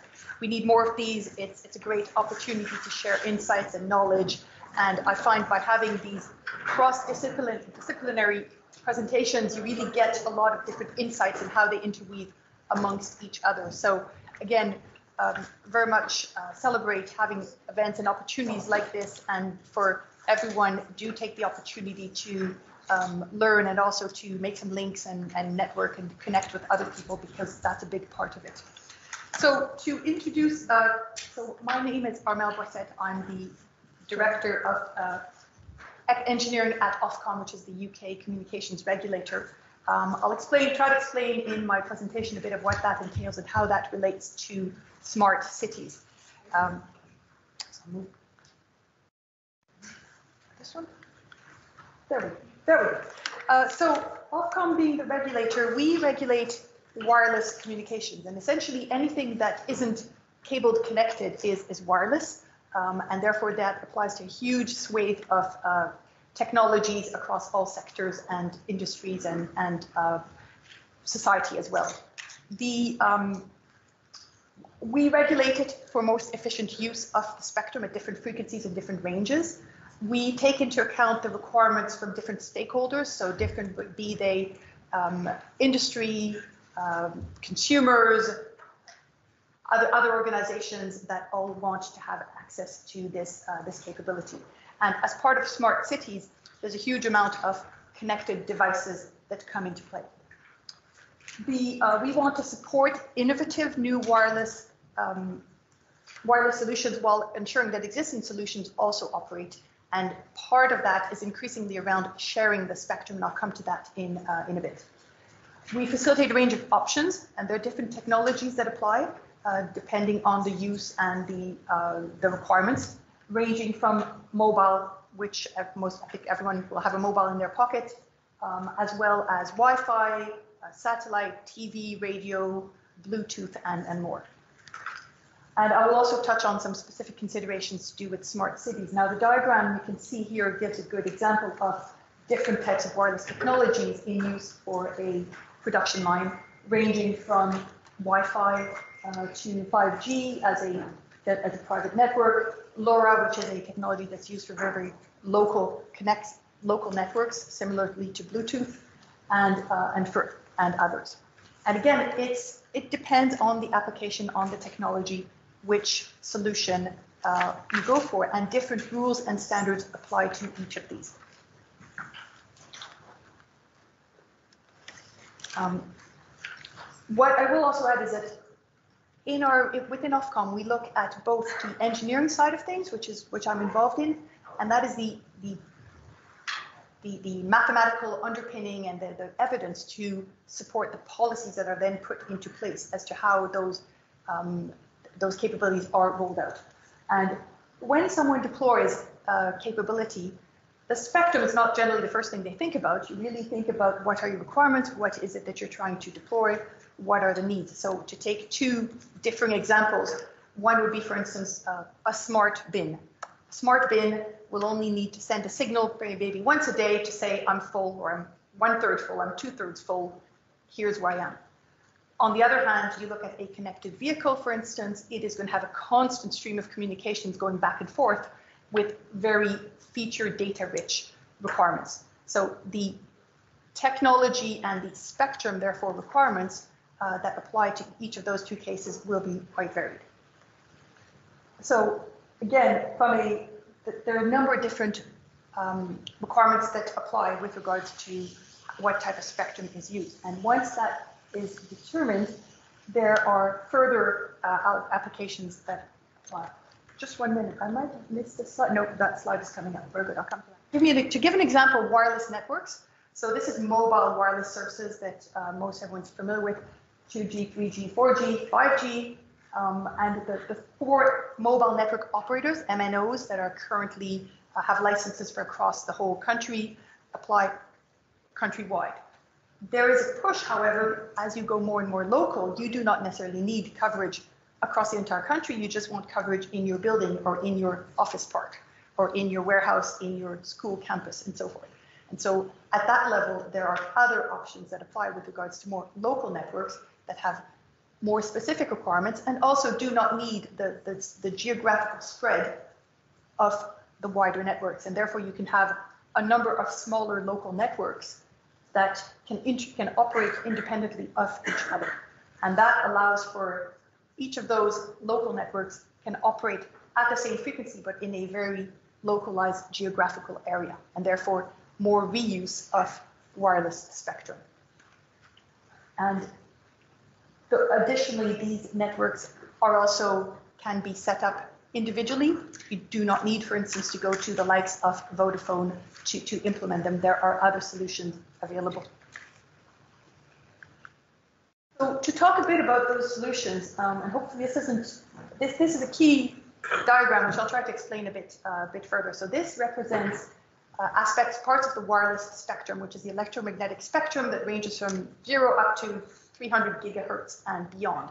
And the wireless technologies that you and I all use use equipment that transmits and receives at different ranges within those frequencies. The typical one I think that we've all used is Wi-Fi. Wi-Fi operates in the 2.4 and 5 and six nowadays lower six gigahertz range. And so equipment operates at that frequency, they communicate with each other. And that Wi-Fi is in that last box here, which is exempt and light licensing set of frequencies. And those frequencies have been assigned both internationally through international standards and agreements and specifically within the UK for use at a license exempt level, which means that you and I and anyone using Wi-Fi does not need to get a license, does not need to get permission because that frequency range that the equipment is operating in has been defined as license exempt and therefore opens up a very vast ecosystem of technologies that can be and and enables businesses and, and services that can be spun up very, very quickly, very rapidly. Uh, there are other technologies operating in that range and license exempt. I mentioned Bluetooth earlier, LoRa. There's a number of these which all interwork with each other and have the property typically that they're quite polite. It's literally what we call polite protocol, which is that they won't, the idea is that services, once they start interfering with each other, that's a problem, once you have harmful interference. So there needs to be a mechanism, and this is where particular protocols come into play as to how these different devices um, and different technologies can operate, can coexist successfully. Some other technologies um, such as, for instance, wireless, are need a bit more um, are, are, less polite in their protocol. There's more of a need to ensure that if the bandwidth is there, they will be there and their messages get through. And therefore, how those interoperate with some other systems is part of the calculations and analysis that my team within the engineering uh, group do. Um, there are in between that range some sharing um, licenses, which we have developed, and this is part of our mechanism to try to innovate and find new ways to make spectrum available, uh, where we can actually make use of some of the frequencies that are in use, um, for instance, by the wireless MNOs at national level, but overlay on top of those at a very local level without causing issues where there is limited mobile wireless coverage then there becomes a solution to have a local license in that particular geographical area to provide coverage or to provide local networks. Um, so there are different, all of these you can see along the top are different frequency ranges um, that apply that have been allocated either of licensed or license exempt capability. And associated with those are particular parameters to do with, for instance, the emission of power, the particular way your antenna beam shapes uh, and different capabilities to ensure that a whole equipment ecosystem can operate within that range successfully alongside other devices.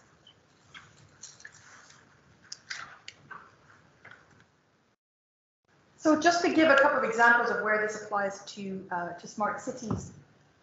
Within smart cities, by definition, it's busy, it's built up. There are more devices and technologies trying to communicate in a closed geographical area. And therefore, there are complexities that apply that wouldn't apply in less built up areas or in rural areas. Uh, you also have signals literally bounce off buildings, they interfere with each other. There are a, a number of different considerations that need to be taken into account. Uh, a lot of these can be modeled through sophisticated computer models, and you've seen, I can show you a couple outputs here on the graph um, of models that look to simulate. You, you essentially implement on the computer a, a, an antenna, a, number of antennas with particular radiating patterns, and you simulate what that reception would be for, uh, for devices. Um, that is then complemented with some measurements on the ground that we also conduct to see that what we've actually simulated is what actually um, gets reflected on the ground. So a couple of examples here are at the top are a, a 3D model because what the, the actual height dimension also counts, uh, is important.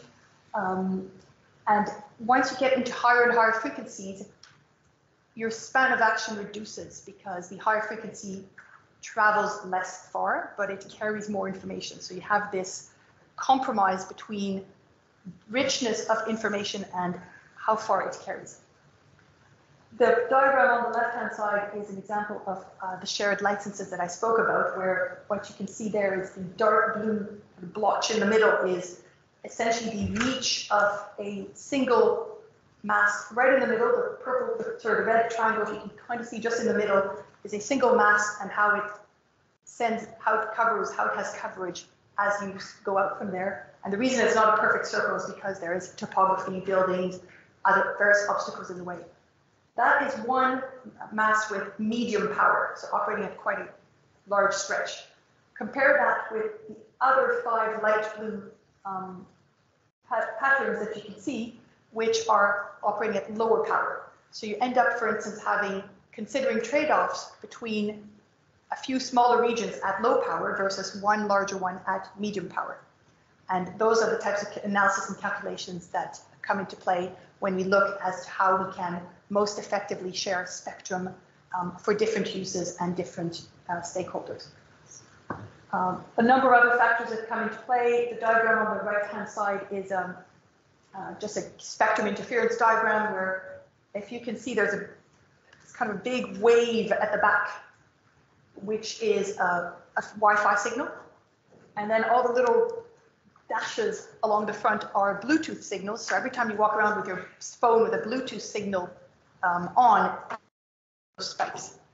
And what happens is both Wi-Fi and Bluetooth, which are in that license exempt spectrum that I mentioned, have protocols in how the, the signals are sent that effectively keep on looking out for each other and jumping out of the way, moving a little bit to the side, turning on and off very, very rapidly, so that the end result is that everybody can work together because it just switches on and off and moves around quite a lot and it, it, it effectively appears as one continuous flow for, for everyone.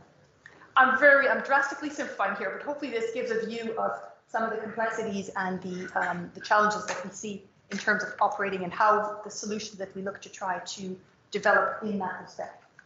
And then finally, one last slide, which is um, to do with a couple of examples recently, but I thought that would be of, of interest. So on the left-hand side, very, very topical, this was the uh, last weekend, the coronation event, um, where you can, you can see, um, so a couple of examples.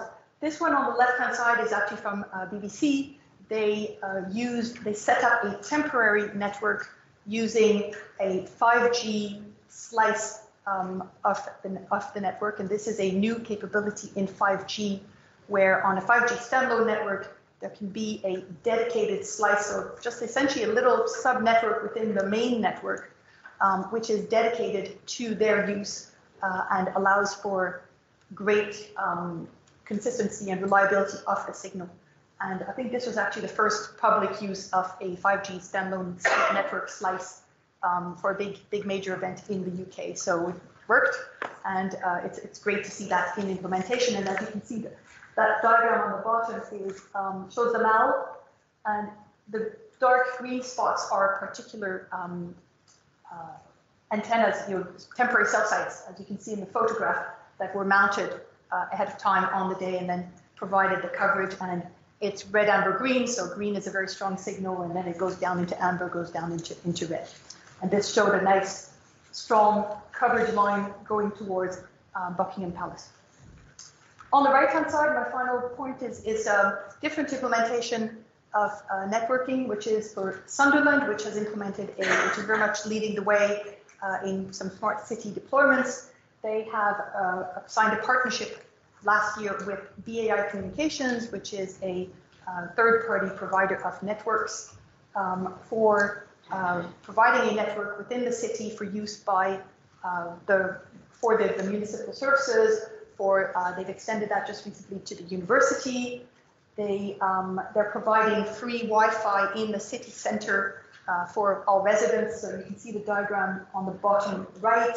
The blue dots are the, the initial uh, Wi-Fi setup that, that was enabled, and they've just announced that they're going to be extending it to the yellow to the yellow zone, so to expand that Wi-Fi service more broadly for use by the residents.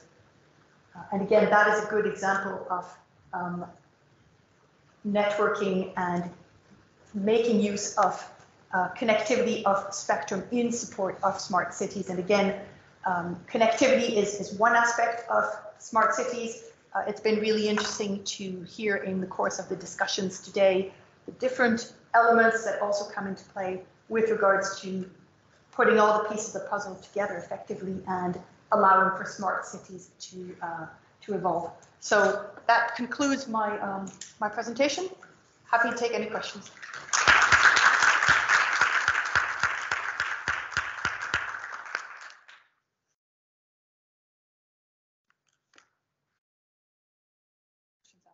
Thank you.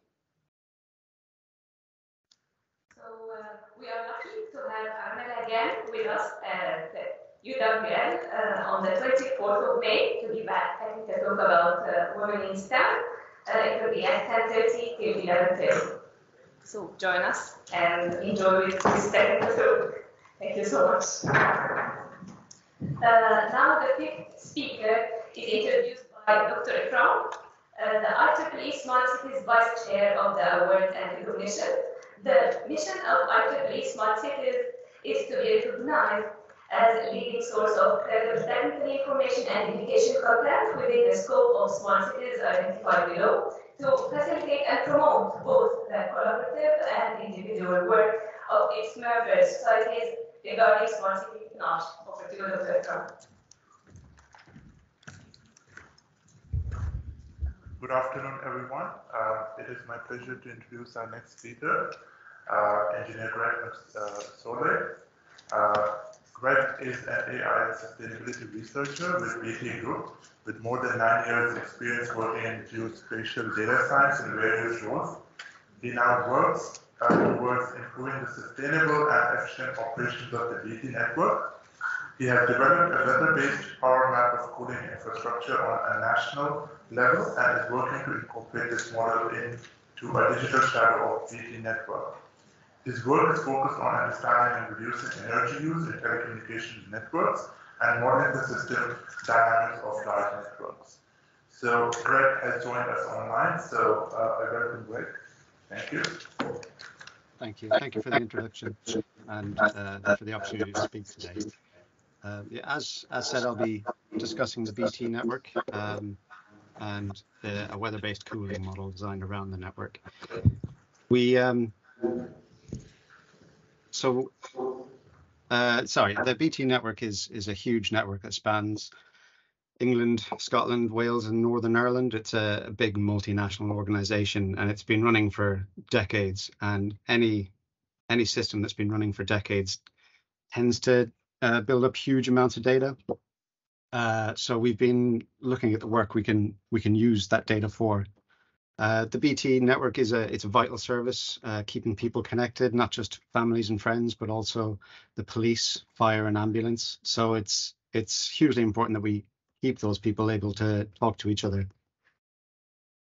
Um, it is as a public service, it does have minimum service levels determined by the government.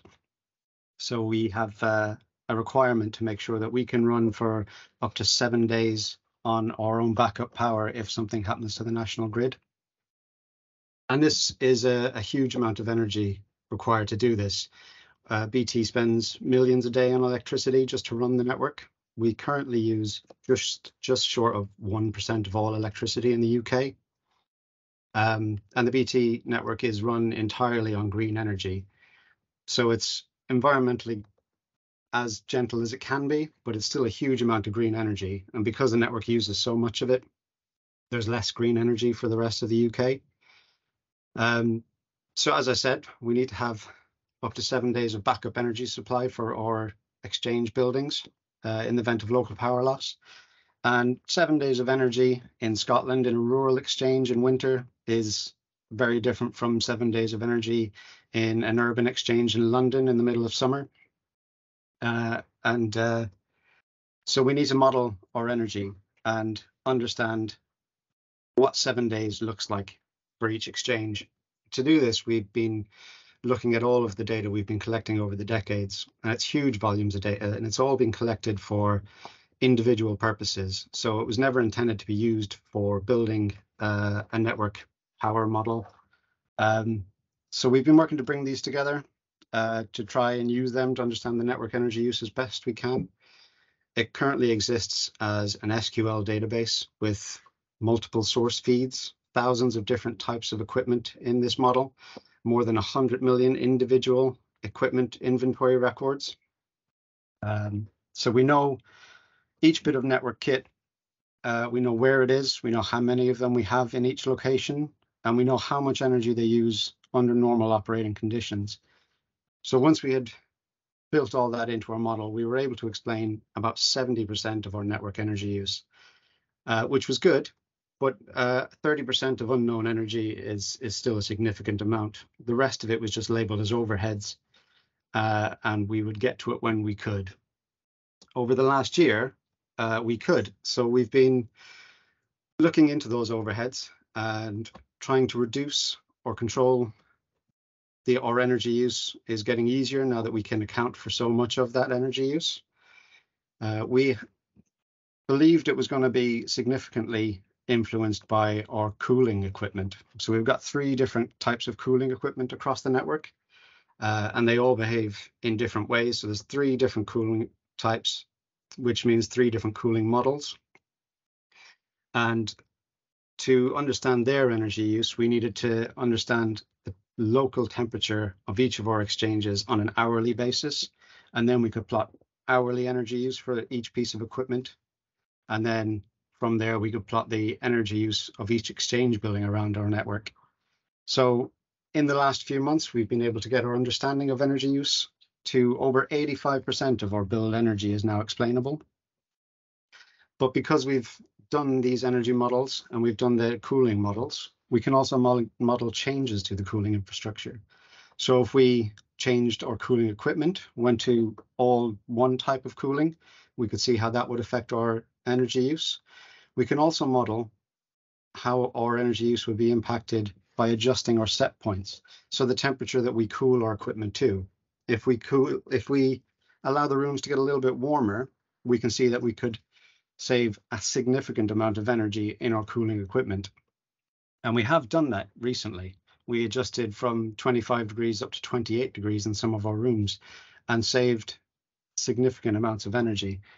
We did, however, notice that some of our other equipment started to increase its energy use around about the same time. Uh, we believe this is a result of the network kit uh, turning its fans higher to push the slightly warmer air away from itself. So we can see how much energy we're saving in the cooling equipment. We can see how much more energy we're using in the network equipment. So now it's a balancing act, and we can start to model those things using the digital shadow of the network. We can see where the, the best balance is between reducing our cooling power and not overly increasing our network kit power. So we still have 10 to 15% of our energy that we still can't account for, um, which still leaves us with a, a significant chunk of energy. Uh, we believe some of it will be heating or exchanges. They do need to be heated as well because if it gets too cold, the network equipment will become brittle and start to snap. Uh, most of our heating is gas, so we don't think that explains everything. Uh, there's also people need to be explained. We have to accept that there's a level of uncertainty with people and their energy use and their behavior, and uh, we can never account for or understand all of it. As an example, we did an exchange visit not so long ago, and we found that there was no heating in the exchange. So when an engineer was visiting, he had turned on an oven in the kitchen and left the oven door open to use that as a heater while he was working in it. We can never see that in our data models. We just have to accept things like that are going to happen. Uh, there's also lightings, uh, elevators, security systems. We can add these and we are adding them when we can, but we'll never be able to keep up with people changing a light bulb, uh, that kind of thing. So at some point, you just have to accept you've modeled what you can and uh, you've understood as best you can. We're also doing other work to understand energy use and, and improve our carbon footprint. Uh, for instance, we're collaborating with the University of West London on using AI and machine learning to optimize 5G networks or to understand uh, where the the point of best return is, how heavy of a touch of an AI, a machine learning package, uh, how best it optimizes a network and where it becomes inefficient because of the amount of energy used to train that model. Uh, so training in, on a network uh, requires it to see bad states as well as good states, and, and no one's going to want us to put the EE network into a bad state just to train a model. So we're making use of uh, simulations of local 5G networks, and, and we can simulate models using that and different scenarios and train models using that. But really, we want to see how much energy is used in training these models and if it provides a real benefit in real world terms. And ultimately, everything we're doing is working towards um, building a digital twin of our network. And what we can do with our digital twin when it's ready is um, feed it into something like the CReDO project. That's the Climate Resilience Demonstrator. And that's a, a federated digital twin, which means it's our digital twin at BT and our network uh, combined with a UK power network digital twin and uh, a water company digital twin, Anglian Water in this case. And if one of us has experienced some sort of uh, climate change event, such as a, a, flooding in part of our network, we'll be able to see how that will affect our um, colleagues over in the UK Power Network or in Anglian Water. And equally, if a flood is affecting some of their equipment, they'll be able to let us know that we're going to lose power somewhere. And we can shift to backup power before we actually have any interruption of service.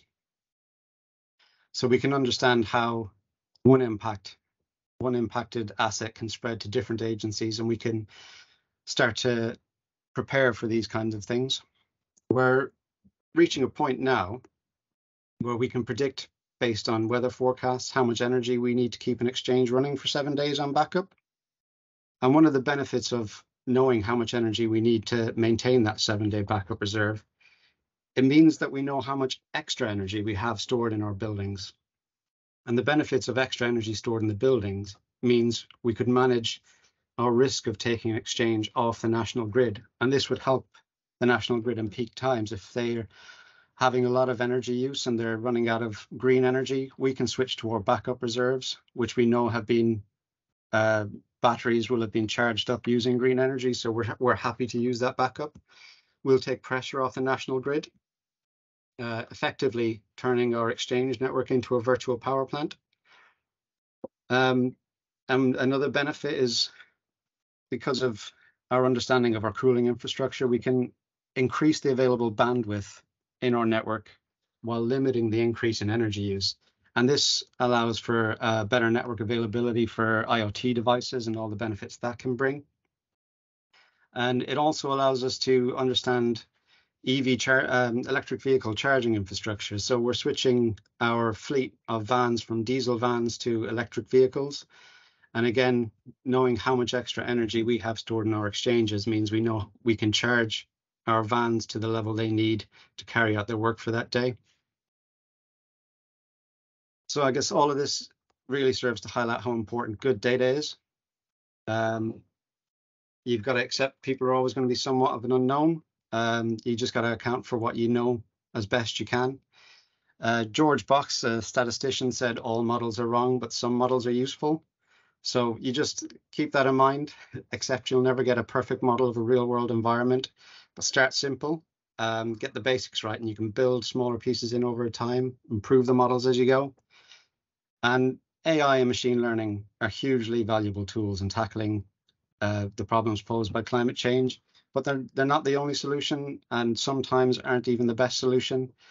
Training these models can be so resource intensive that it outweighs or drastically reduces the benefits that you can see from them. So pick your solutions carefully and um, yeah, just understand your challenge and, and take the right approach to it. Uh, that's it from me. Thank you. Happy to take any questions.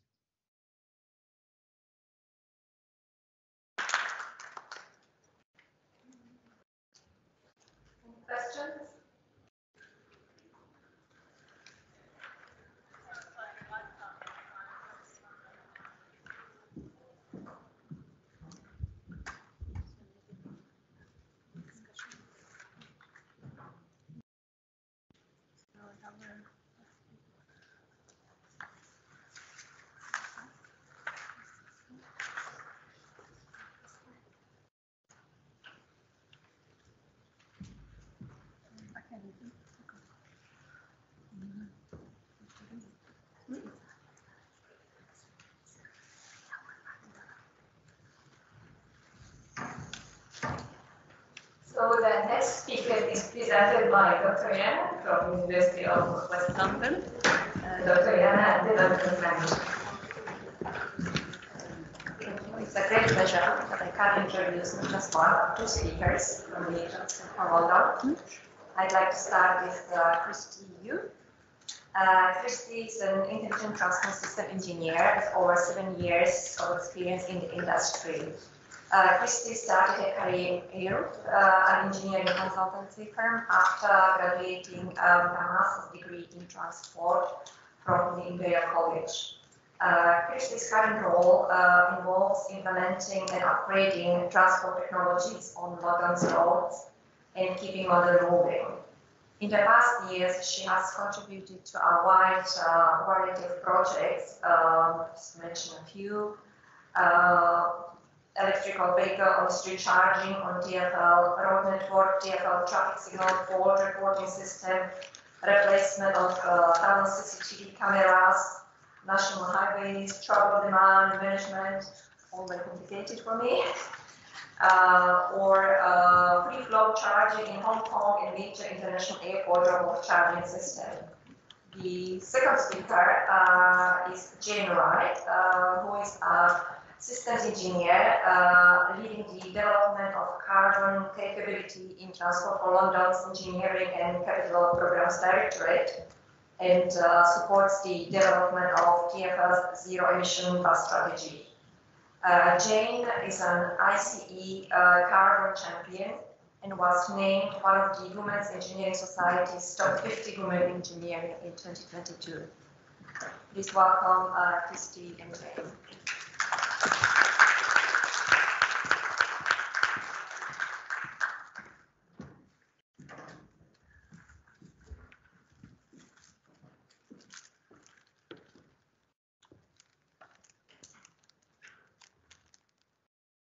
Hi everyone, so we'll try and, um, I know it's coming up to lunch, so we'll try and speed through.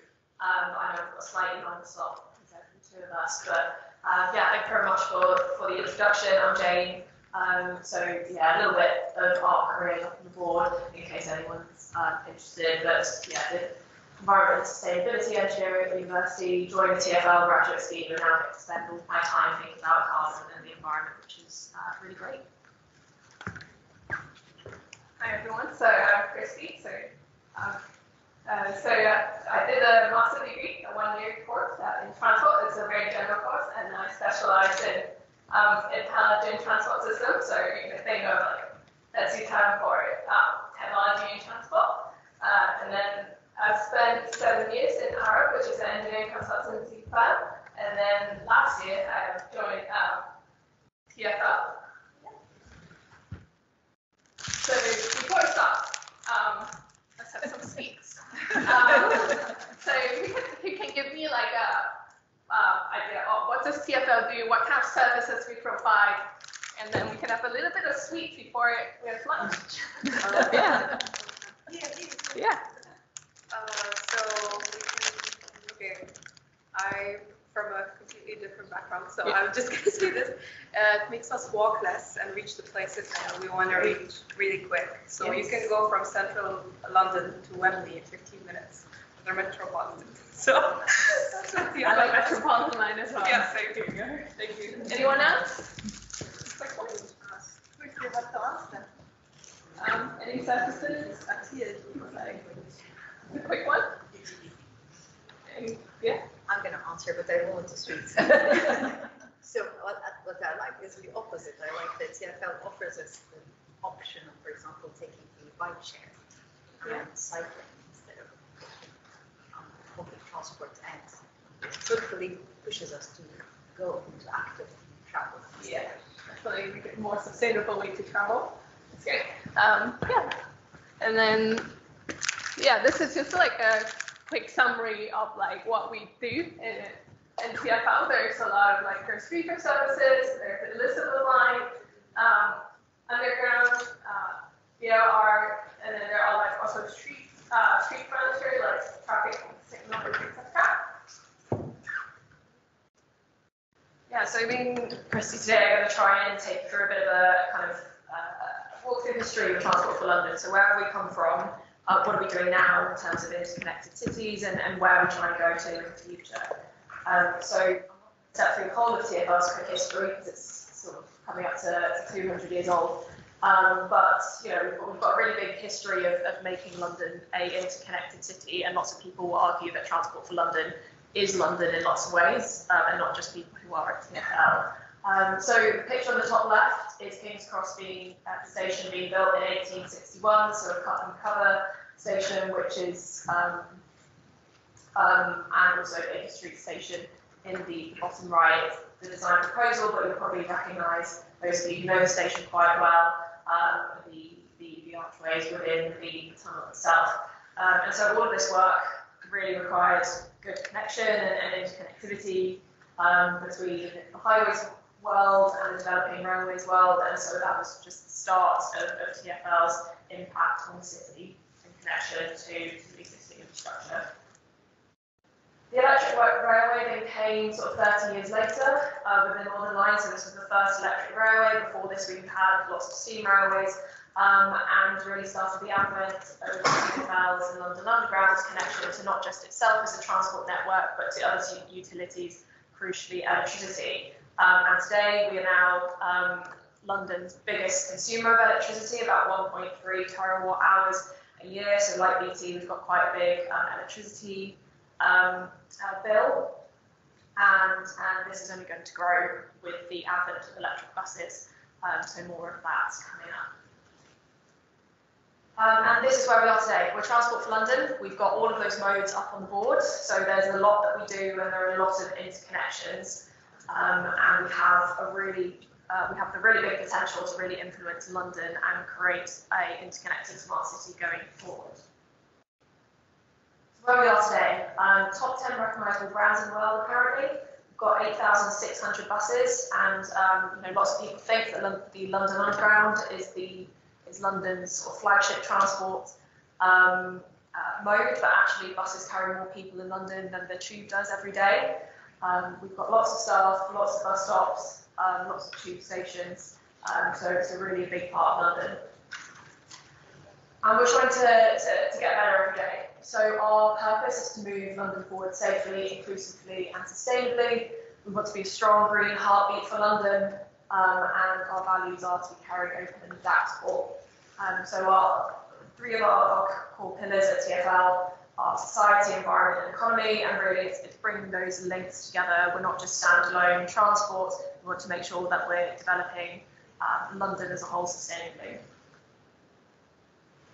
And so this just tries to show how complicated an organisation we are and how we're trying to make sure that we're leveraging those, those interconnections between different assets um, and, different networks. Um, so between ourselves, all of our different roundels, so all of our different modes, and there are lots of connections here.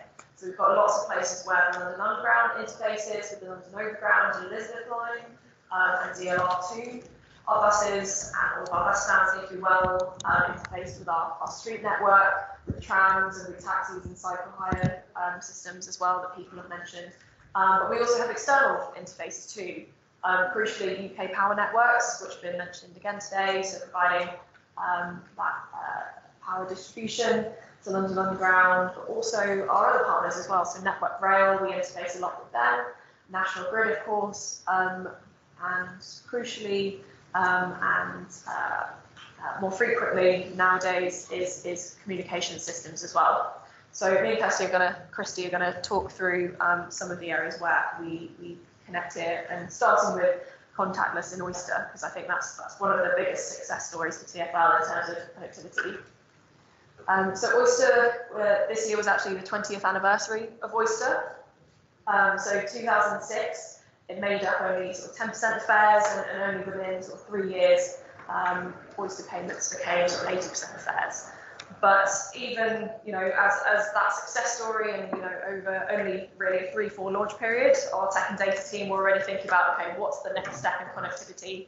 How do we move from something where, you know, we get the convenience of Oyster, but without the need for people to, to buy TFL's money in some ways to be able to, to use our transport network. Um, and really, our tech and data team are really proud to, to have been um, some of the first um, organisations to bring in contactless payments. Uh, we now get 100,000 new contactless cards per day, um, and all of this means that we're able to save um, 400 million pounds um, per year um, on our revenue collection system based uh, compared to what we used to do with, with our certificate system. So using connected technologies and leveraging connections with other organisations in the banking sector, um, we've been able to reduce the amount of money that we spend on collecting our fares from 15% um, back in about 2006 to now that being uh, 9% of fares instead.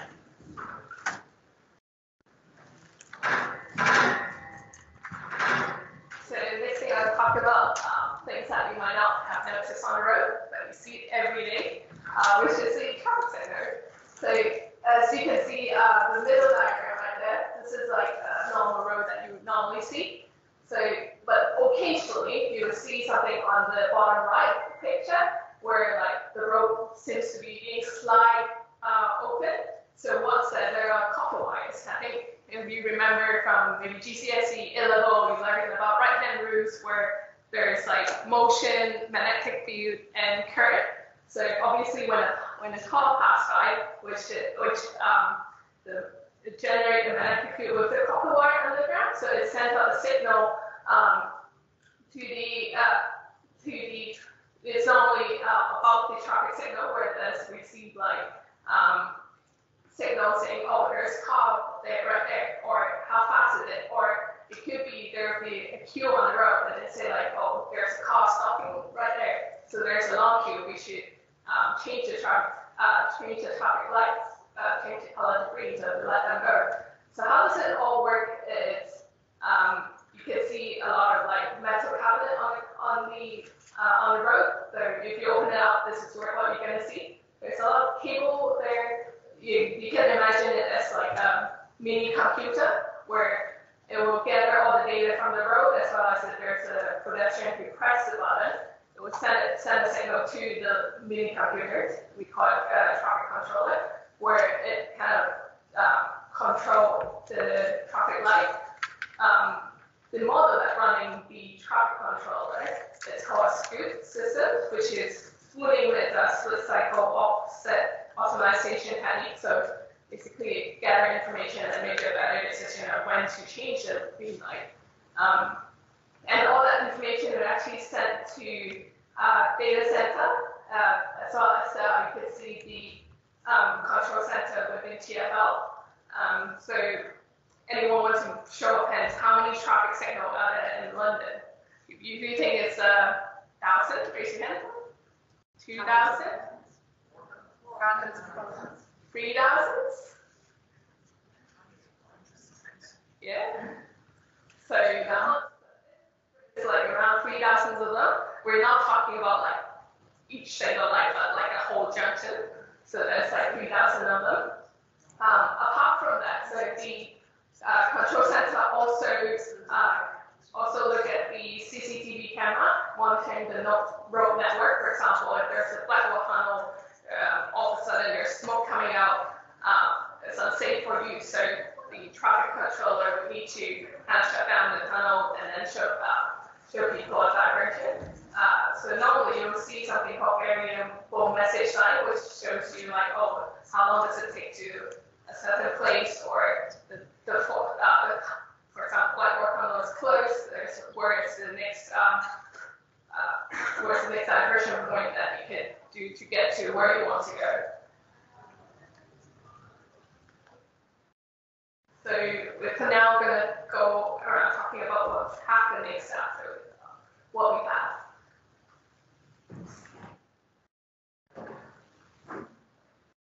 Right, so this is, uh, um, so imagine the system that I mentioned. They are actually 30 years old. They're developed in the 80s. So the how people travel changes all the time. So 30 years ago, there's no cycling, there's no cycle highways, um, but now there are all these new components coming up um, on the road. So, the, uh, so at the moment, TFL is doing um, new modeling called uh, real-time optimizer. So it helps to have uh, understand the road better and make better decision. So at the top uh, right there, you can see two pictures, which is rather than having um, pedestrians to press the button to tell the traffic controller that we are there. Uh, there is um, uses this kind of like camera to kind of you can see the numbers there, which means like how long they have been waiting at the light. And then at the bottom, uh, it is using CCTV camera as well with video analytic capability, uh, where we analyze oh, how many pedestrians are there. Uh, in the previous slide, I talked about all the loops and stuff, it can only detect like metal, obviously. But now, uh, with the with the video analytic capability, we can detect cyclists, uh, pedestrians, so we have a better understanding of who is using uh, roads in London. Uh, and, and that way we can help, uh, we can collect more data, which hopefully help us to make a better decision of how could uh, change the design of different streets in the future. Um, this is just a quick run through of the project that is about connected corridor. So this project is about um, uh, you, it's, a, it's about uh, how we could use connected corridor all the way from London um, all the way down to France. So these are all the partners that have been working on this project. So there are four uh, connected ITS services that I'm going to mention it in the next few slides. So don't worry too much about it right now. So when you think about uh, autonomous vehicle, uh, we talk about it all the time, but when you think about it, um, yeah, a little bit more, you actually need to think about how information are being exchanged. Um, you think about how does the car know that the green light would happen in 20 seconds? Um, all that questions that we need to think about. So this project uh, gives us an idea of how how the infrastructure can actually be smart as well, so it can communicate with the cars. So this is, in this pilot project, this is the section that TFL has been testing. So it, uh, if you imagine like there's a car driving from the, from the bottom right up to uh, Greenwich. Um, this is all the all the like testing that we have done. As I mentioned, there's four CITS services. The first one is in-vehicle signaling. So how do we replicate all the signal that's on the road into the car?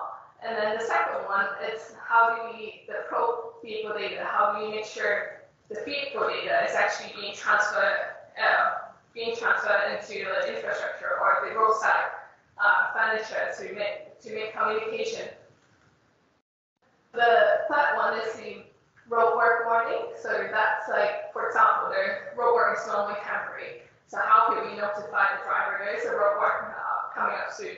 So this is the way of doing. And then the last one is the green light optimized speed advice. Let's say when we're driving a car, uh, if we know that the green light is going to be in five seconds and we're maybe like just a, just a few seconds um, uh, behind the light, we don't need to brake right at a sudden when the when the red light comes up, so we can like of uh, go through the green light at normal speed within the speed limit.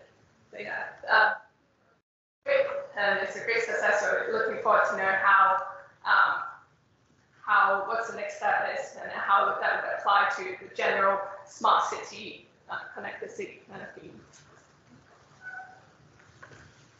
Cool. So um, uh, a slightly different approach and sort of taking back at the high level is, is you know, what are Transport for London's opportunities uh, to support connected and, and um, systems approaches to, to city design um, based on, on, where we are now and what do we need to do in the future to, to further connect our, our, physical assets, not just from a communications perspective, but from a more physical asset perspective. Um, so with, with um, Transport for London and my focus, it's a lot around decarbonisation, and so we have to filter back to the UK's net zero um, targets and requirements. Um, so of course we know as Planet Earth, we need to be decarbonising. Uh, we know that as a country we need to as well. London now has um, targets to get to net zero by 2030 based on its operational fuel and energy use, um, and that then trickles down to transport for London as well. So we very much operate within um, this system and we operate assets within this system as well. And we really need to be taking a systems approach um, to decarbonisation and making sure we're drawing out those connections and leveraging them to make good policy decisions. Um, so there's been lots of um, letters to government um, and papers put out by the government itself, really to demonstrate um, and uh, showing that what we need to do is make sure we are taking a systemic approach to net zero. This meaning we're not just considering transport in isolation, but we're drawing together power, utilities, water, very much um, what, what BC, uh, Greg BC was saying earlier, we need to make sure we're, we're pulling together um, the, the opportunity to, to link up our assets as much as possible to, in order to make the right decisions to get to net zero. Transport for London at the moment, this is, this is a very basic diagram of, of how we interface with UK power networks and our power distribution systems. Um, so we have UK Power Networks distribution network in, in London. Um, that then interfaces with London Underground's power, uh, private power network. So, so largest electricity consumer in London and also uh, the largest private power uh, network in London. Uh, Heathrow also have their own, I'm sure there are others around the city who have their own private networks too. Um, separately, we then are increasingly having power connections into bus garages to accelerate bus electrification. So we have the target to get to um, a fully electric bus fleet by 2034. Hopefully, we can we can bring that um, that date forward sooner. Huge challenges around getting huge amounts of power into bus garages. Um, what's worth pointing out is that a um, a new substation and lots of primary substation upgrades are usually required after about 250 um, kilowatts of power uh, demand. Um, in garages, we're putting in megawatts of power, so four, or five meg, uh, megawatts typically per garage, and um, a typical housing estate usually puts in about a small substation of about 250 kilowatts. So with electrifying the bus fleet in London, that's basically equivalent to saying we are building, you know, uh, the equivalent of hundreds of new housing estates across London in terms of the power uh, requirements that we need. So, so a really, really big undertaking.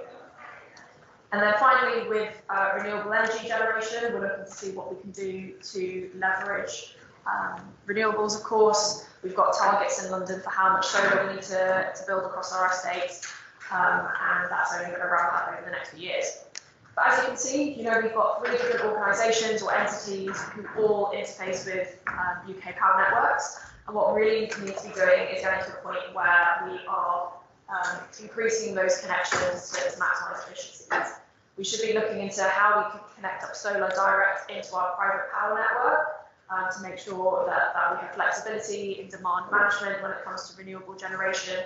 Um, and crucially, and something that I'm working on in the next few months, is seeing whether we can start to connect up bus garages directly to London Underground's power network again, so we're not just drawing through all of our power through the five volts, five points that we get from UKPN, but actually we have more flexibility of pushing our power, regenerative braking, renewables around our network, and buses are a way to support that. It's a really clear um, and um, there are good opportunities in this connection as well, not just, just from the, the sort of power management perspective for UKPN, um, but buses predominantly charge overnight and our trains are usually in the depot overnight. So we have this uh, lovely situation where we get peak power demand for buses overnight and peak power demands for the trains during the day. So this sort of more interconnected world, this um, systems approach to, to design, and you know you can widen this out. This is just connections to UK uh, power networks. I'm sure there are lots of opportunities that we could be talking more to, to BT and, and um, uh, more of our utilities partners to the water sector as well to make sure we're, we're leveraging and making efficient cities where we can. Um, so just to end, you know, who, who's going to make this all happen? Um, I think we've had lots of really good talks from engineers today, and, and it's all going to be engineers, um, which is, you know, really very exciting. I think both me and Christy really like our jobs. I hope.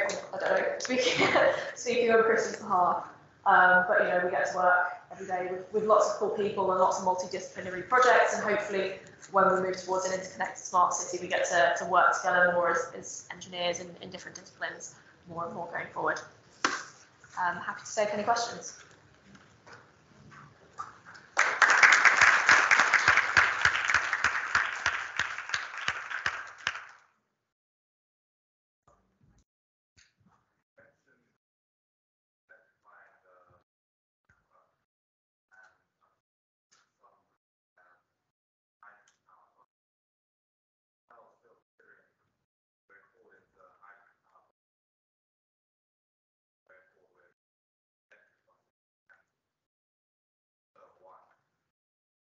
Um, so it's it's an evolving picture at the moment. So we've, we've currently got um, about 10% of our bus fleets are zero emission, so predominantly electric buses, and then we have 20 double-deck hydrogen buses which are on trial.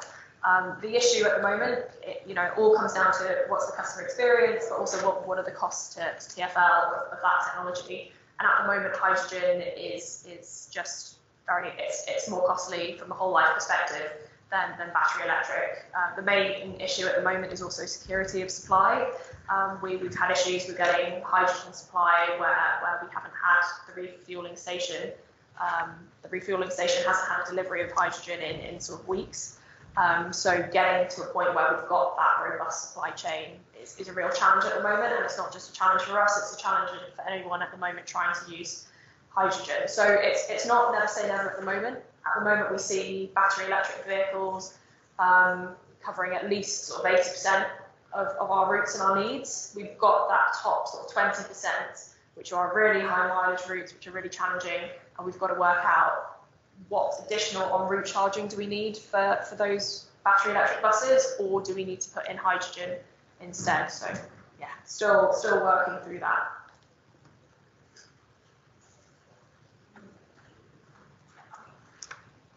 So the question that I have is, um, the way I see it, is transport is not just a technology problem. And um, for example, to me, it's much cheaper to drive than to take the tube. Taking the tube is cheaper than taking your share bus to go to work. And I'm not saying that we should make cars more expensive. I'm saying we should make the alternative, what we want to keep, to be less expensive. And it's not the case. So the, the way I see it is technology is definitely an important aspect, but it has to go together with policy, with regulation, with pricing. And I was wondering how is it that you approach this kind of multi aspects of the problem? No, it's hard. Um, I think you, you probably mentioned it like at the start. You know, you've, you've at the moment the car is a very attractive option, um, and you know some say at the moment public transport can't compete. I think we need to be challenging ourselves as, as a transport authority to say, you know, for coming back. So I hope you didn't forget to do the survey. Uh, now it's time for the panel discussion. Uh, working together to create inclusive smart cities.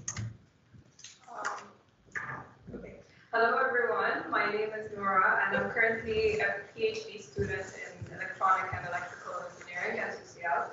And I'm also an ambassador to the IEEE Women in Engineering. Um, so I joined one of the events last year and I got pretty excited to meet lots of people. And um, it's really nice to see how many people are passionate about putting more women in engineering and giving women a shot which is amazing. And I thought uh, maybe in this uh, panel discussion, we can talk more about the topic on smart cities. As uh, we strive to create cities that are smarter, more sustainable, and more inclusive, it is essential that we work together to achieve this goal. Uh, so we have, I was going to introduce you guys to come and sit but you guys are already here, which is great.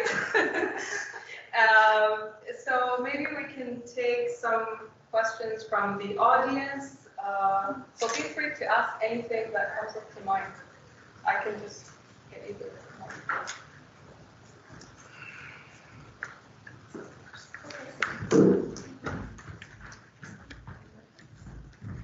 Okay. Yeah. So my first question is, you want to introduce yourself? Oh, I'm Casey. Okay. Hi. Um, my first question is, AI is amazing and it's being used constantly, whether it's in TFL, in different systems in transport, wherever that might be. Do you think that companies now are getting into AI to increase their efficiency, or is it because they think they're missing something in their actual industry? So, for example, with, TFL, are they doing it to try and reduce the amount of waste, especially with decarbonization? I've got personally with it a little bit, and it's a huge industry. Or are they just kind of hopping onto a trend? Like, how much of it is hopping onto the AI trend, how much of it is actually because the water increase it's. And that's it. whoever has something to say really. I mean, from a, guess, a industrial perspective, the thing that I see is that generally speaking, that AI adoption has to be driven by a business case. Is that there has to be a reason for adoption, unless you are a, a big tech with billions of dollars to spend on research funding, um, because you can't, otherwise you can't afford it. Um, and I'll give I'll give a couple uh, couple examples. So we saw we did a piece of work with Alibaba, who at the time is 2013 2018, the only use of AI machine learning was to reduce the energy. And we saw Google's acquisition of DeepMind for the same reason. So there's a business case that meant they spent 100 million dollars there, but they saved two billion. That's it has to has to be there, and I think that's that's critical.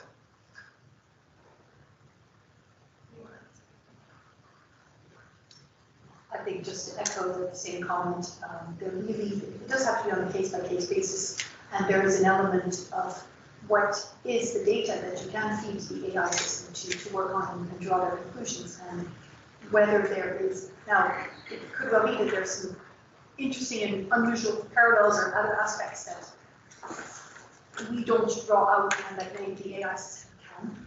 Uh, at the same time, I would caution on garbage in, garbage out with regards to data, as is every case. And all these uh, AI systems are obviously trained on uh, large data sets, which I'm sure Tatiana will talk about in a minute. Um, and that, that does have, have relevance there. There is, um, you know, certainly the whole AI visibility and expansion has, has picked up pace in, at a great deal. Uh, at the same time, again, it is very much um, as uh, as we're saying, on a case-by-case basis, and one that I do expect we will see more prevalence on in the future. I'm from academia, but I think I am a bit unusual academia.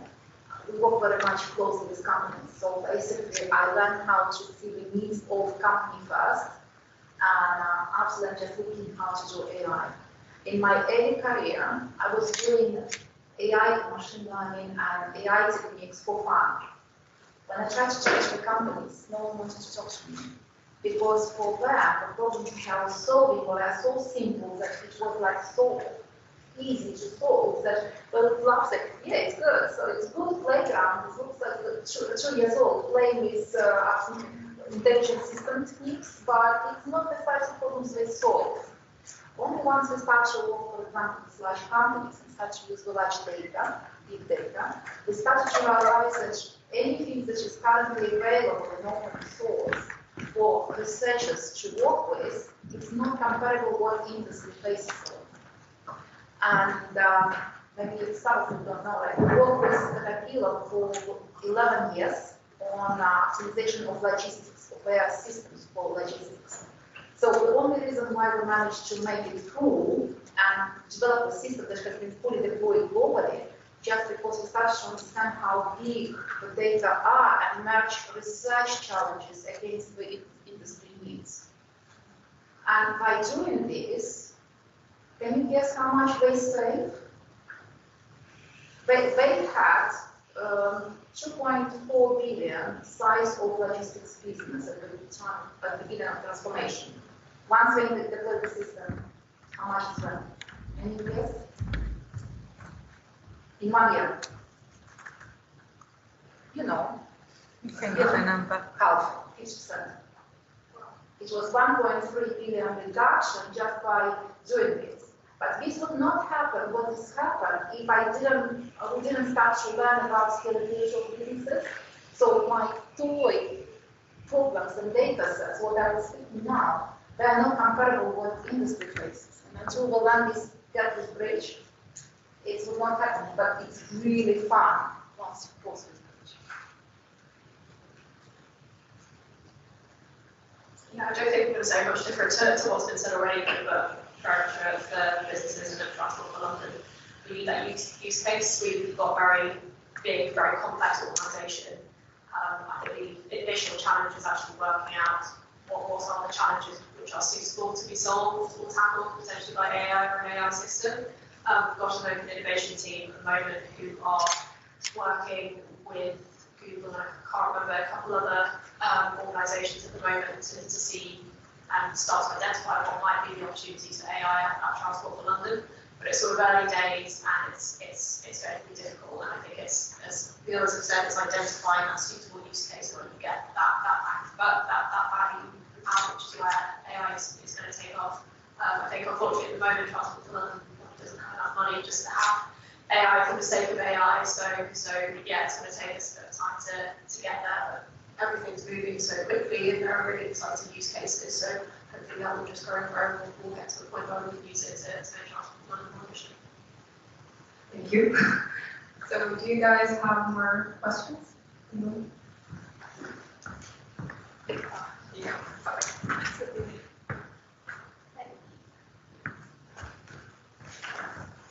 Um, hello, uh, I'm Dr. Soumya Reddy. Um, my question is, um, we can see from your uh, talk that you are all veterans in the field.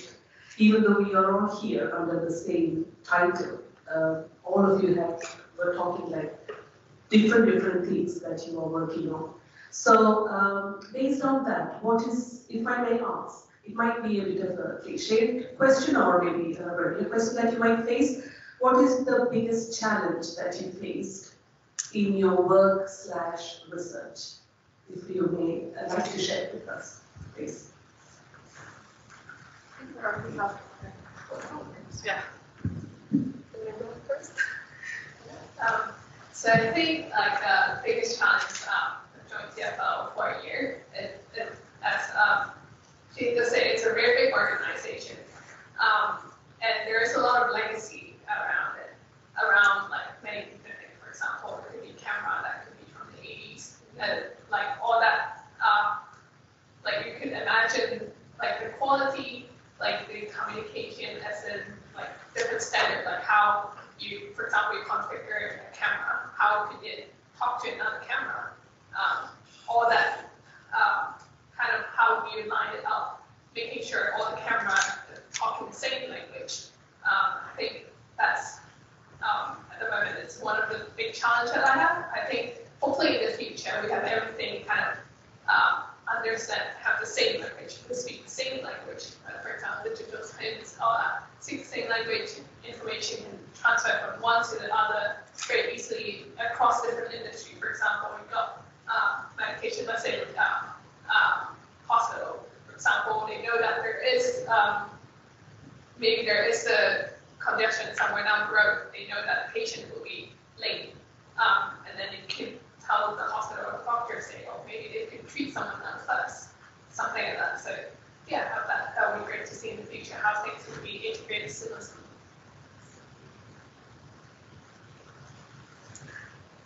Well,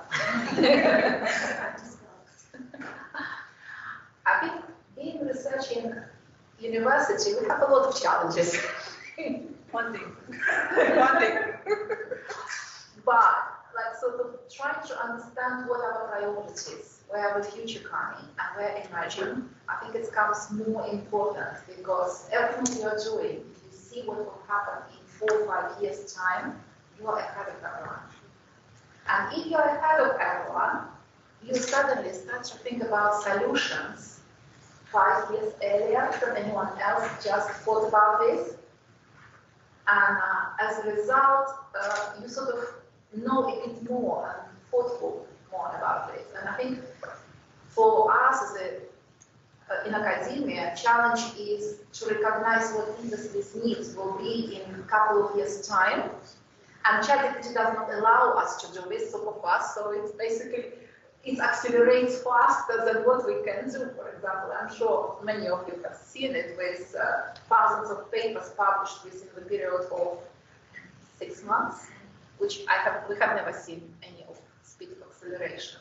And if will learn all this, how to do this, and how to match and get this vision get together, so it's suddenly what you're working now makes sense and become useful for any of industries and.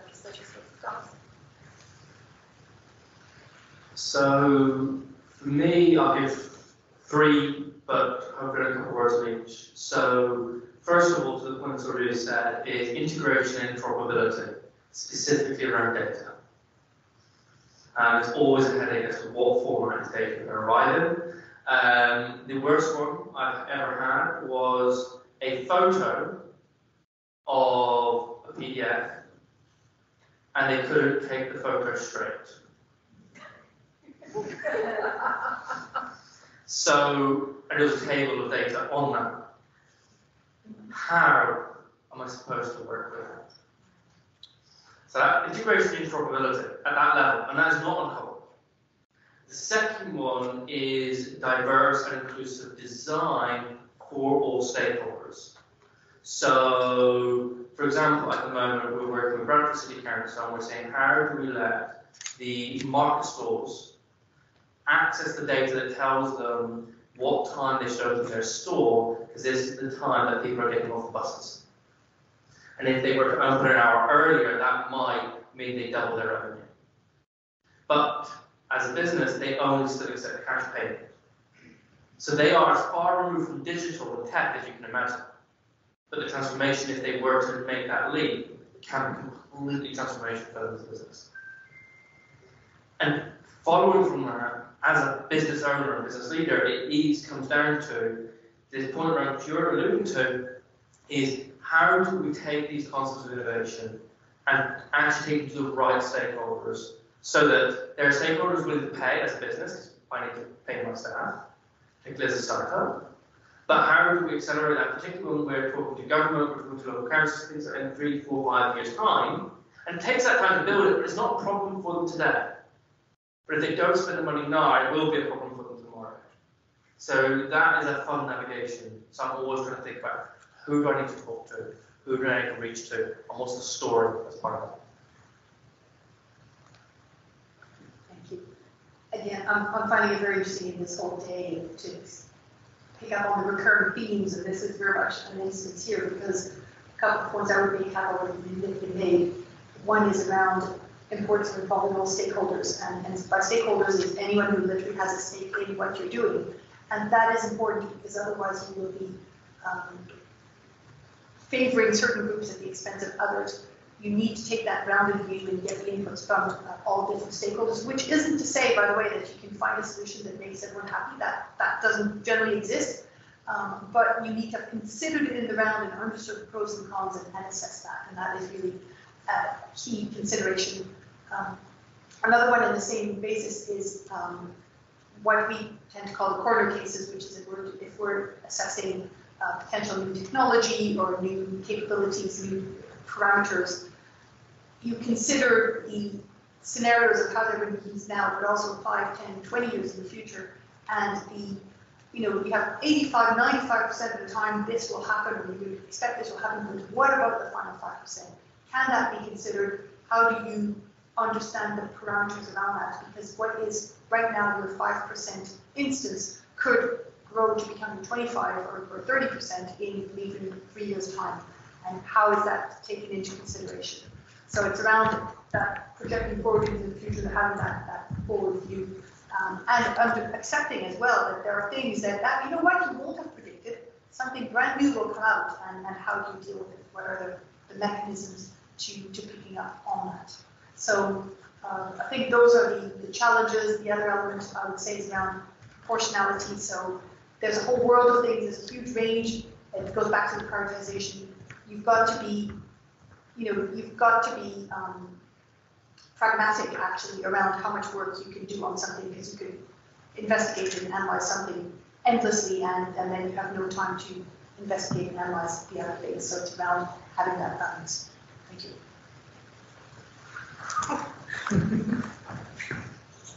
We have another one. Um, so yes, I have actually two questions, and it's related to probably what you've said jointly. Um, AI can't be the solution for everything, and we often throw AI at the problem. Um, and I was reading this uh, article yesterday that want to train one AI model transform would, would create CO2 emissions as much as five cars per lifetime. include also that. And, um, and that, that makes you think. So to solve energy efficiency by AI, uh, what's the balance? Where do we stop? And how can we make the models, of course, require less data as you've done, and this, this is impressive, but it's about what is the right data to include, and it can't be always the same answer, it's got to be related to the context that we're dealing with. Um, but then, how can we create models that can be reused and uh, exported from one application to another to avoid retraining all over again and avoid that massive CO2 footprint um, that is connected with it. So yes, we don't have, um, also in academic, we don't have access to these massive GPUs like the industry does, but maybe it's a good thing. Because as you say, it will push us to come up with something more innovative and hopefully better for the environment. So how, how do we go about that? And how do we compete with those who have money? Assuming they are innovative. Um, I think it's, it's slightly different perspective, but from sort of like client organisation um, perspective where we have assets that we manage and, and looking at energy efficiency, I'm, uh, maybe it's just my personal perspective, but I'm on a bit of a crusade within our organisations, similar to, to Tatiana, um, to, to not have all the focus on having data and having the exact perfect answer you know the, the highest possible accuracy you can have in, in data and models before you make a decision.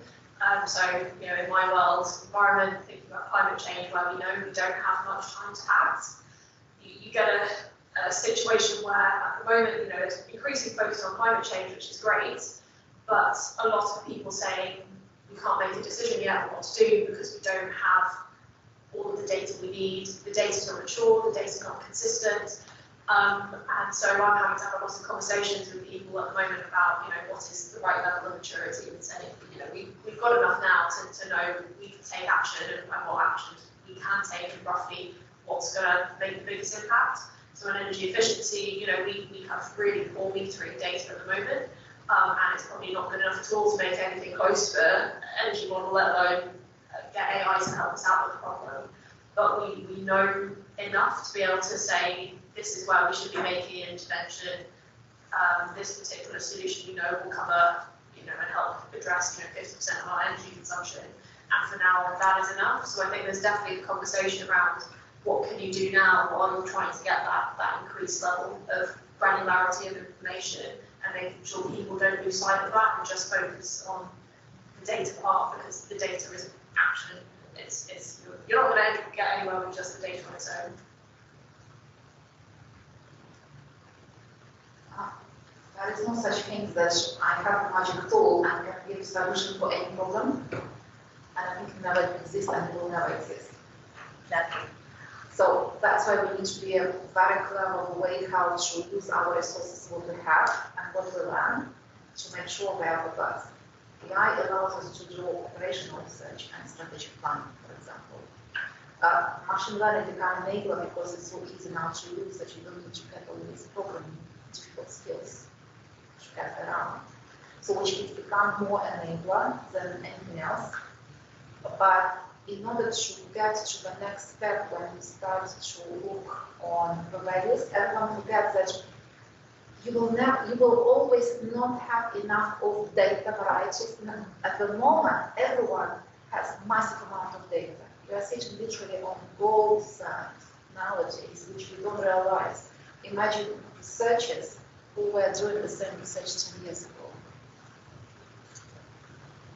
And there it was not enough, and we are speaking now about not gigabytes of the data that show much, we are speaking about terabytes of information, and it's not enough. I think it's in our human nature not being quite enough.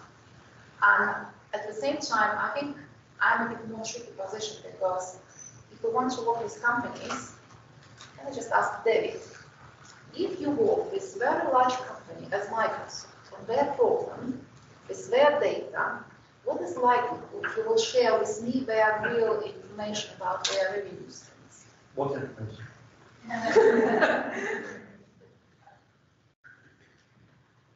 We won't be able to work with companies unless we'll be creative. You need to understand that the data is not about real data, what you have, it's about dynamics of the data. Okay, and I think everyone starts to keep forgetting that what brings AI models very efficient is not actual real data which you are giving, but the dynamics one. But at the same time, if I'll come back to David, listen, David, I understand, will never ever give me Microsoft data. Can you please create for me a data set that it will keep dynamics of the data, and I will tell you what it is. I had an experiment a couple of years ago. I had uh, final project students come to me, and what I did, I gave him um, data sheet of sensor data, and I said, listen, I want you to apply machine learning and classify. It took him like three months chasing me and telling me, what is the data? What are we meaning? Can you tell me? I said, no, you do this. You implement the system, and now then we'll have a look if you could beat results. By doing the blinds, and when I told him what it was, he literally the data. He learned how to work with synthetic data or blind data without understanding the meaning, but at the same time bringing the value in. So now, when I'm giving him data, he asks less questions, design very quickly, and once he designs to the level of quality, people suddenly start to talk. so I think we need to change the way how we use AI, because as researchers, I don't see how we will be able to touch any of the large data unless we will sign privacy agreements. And once you sign privacy agreements, you cannot publish. This is what I have my case. Like you will see my some of my applications are like low because this is what they are working on. So you, you have your tights on. But being a bit more creative and still working with real data, but not being able to replicate and using dynamics, it gives you completely power. And tell me if I'm wrong, I haven't seen any paper saying that it's basically, it's not about what the data are about, but about the dynamics which bring the value. I guess in hard way, but agree with everything you said so far, but I'll take a kind of different points on, on that. I think one of the key things that's alluded to in the first answer is actually the speed to value. So one of the reasons we end up with so much data is because we're waiting to collect enough. So right, we need to get three years worth of data to see what happens over time. And it's actually anything that academics taught us is that data collected is meaningless because the world's changed. So the key question for me and for a lot of projects we work on is how quickly can we start rolling things out in an iterative way so that we start with a minimal amount that we can get away with and then we'll identify with that the world isn't behaving the way we thought it was. Why? What extra piece do we maybe need to collect? But that means you don't end up collecting more than you need. And you see actually that then it wasn't relevant, so let's not collect any more of it. So it gives a very easy way to manage how much not applicable in every situation. And the point that's mentioned about synthetic data is also, and then we see of the NHS and here doing a lot of work around synthetic data to try and make that available for pharmaceutical research. Really, know, that's all about not sharing personal data, but it's very helpful because otherwise we end up doing clinical trials, it take decades to collect new data. So it's speeding up that process as well. And that is a huge amount of data to be stored there. So that sharing of it in a synthesized way is another big part of it. The other side to that, to help with that, is something that um, we started alongside IBM and Dell, was Responsible Computing Consortium, to allow us to collaborate around some of these things, to break down some of the barriers. So, right, IBM, what are you doing? Dell, what are you doing about the hardware? How are you actually doing this? And getting in a safe space where we actually agree the terms and conditions around how we will share data, what data we will share, bringing in academics and actually creating those consortia to collaborate around some of those key challenges. Because not one of us has the answer. We have to collaborate.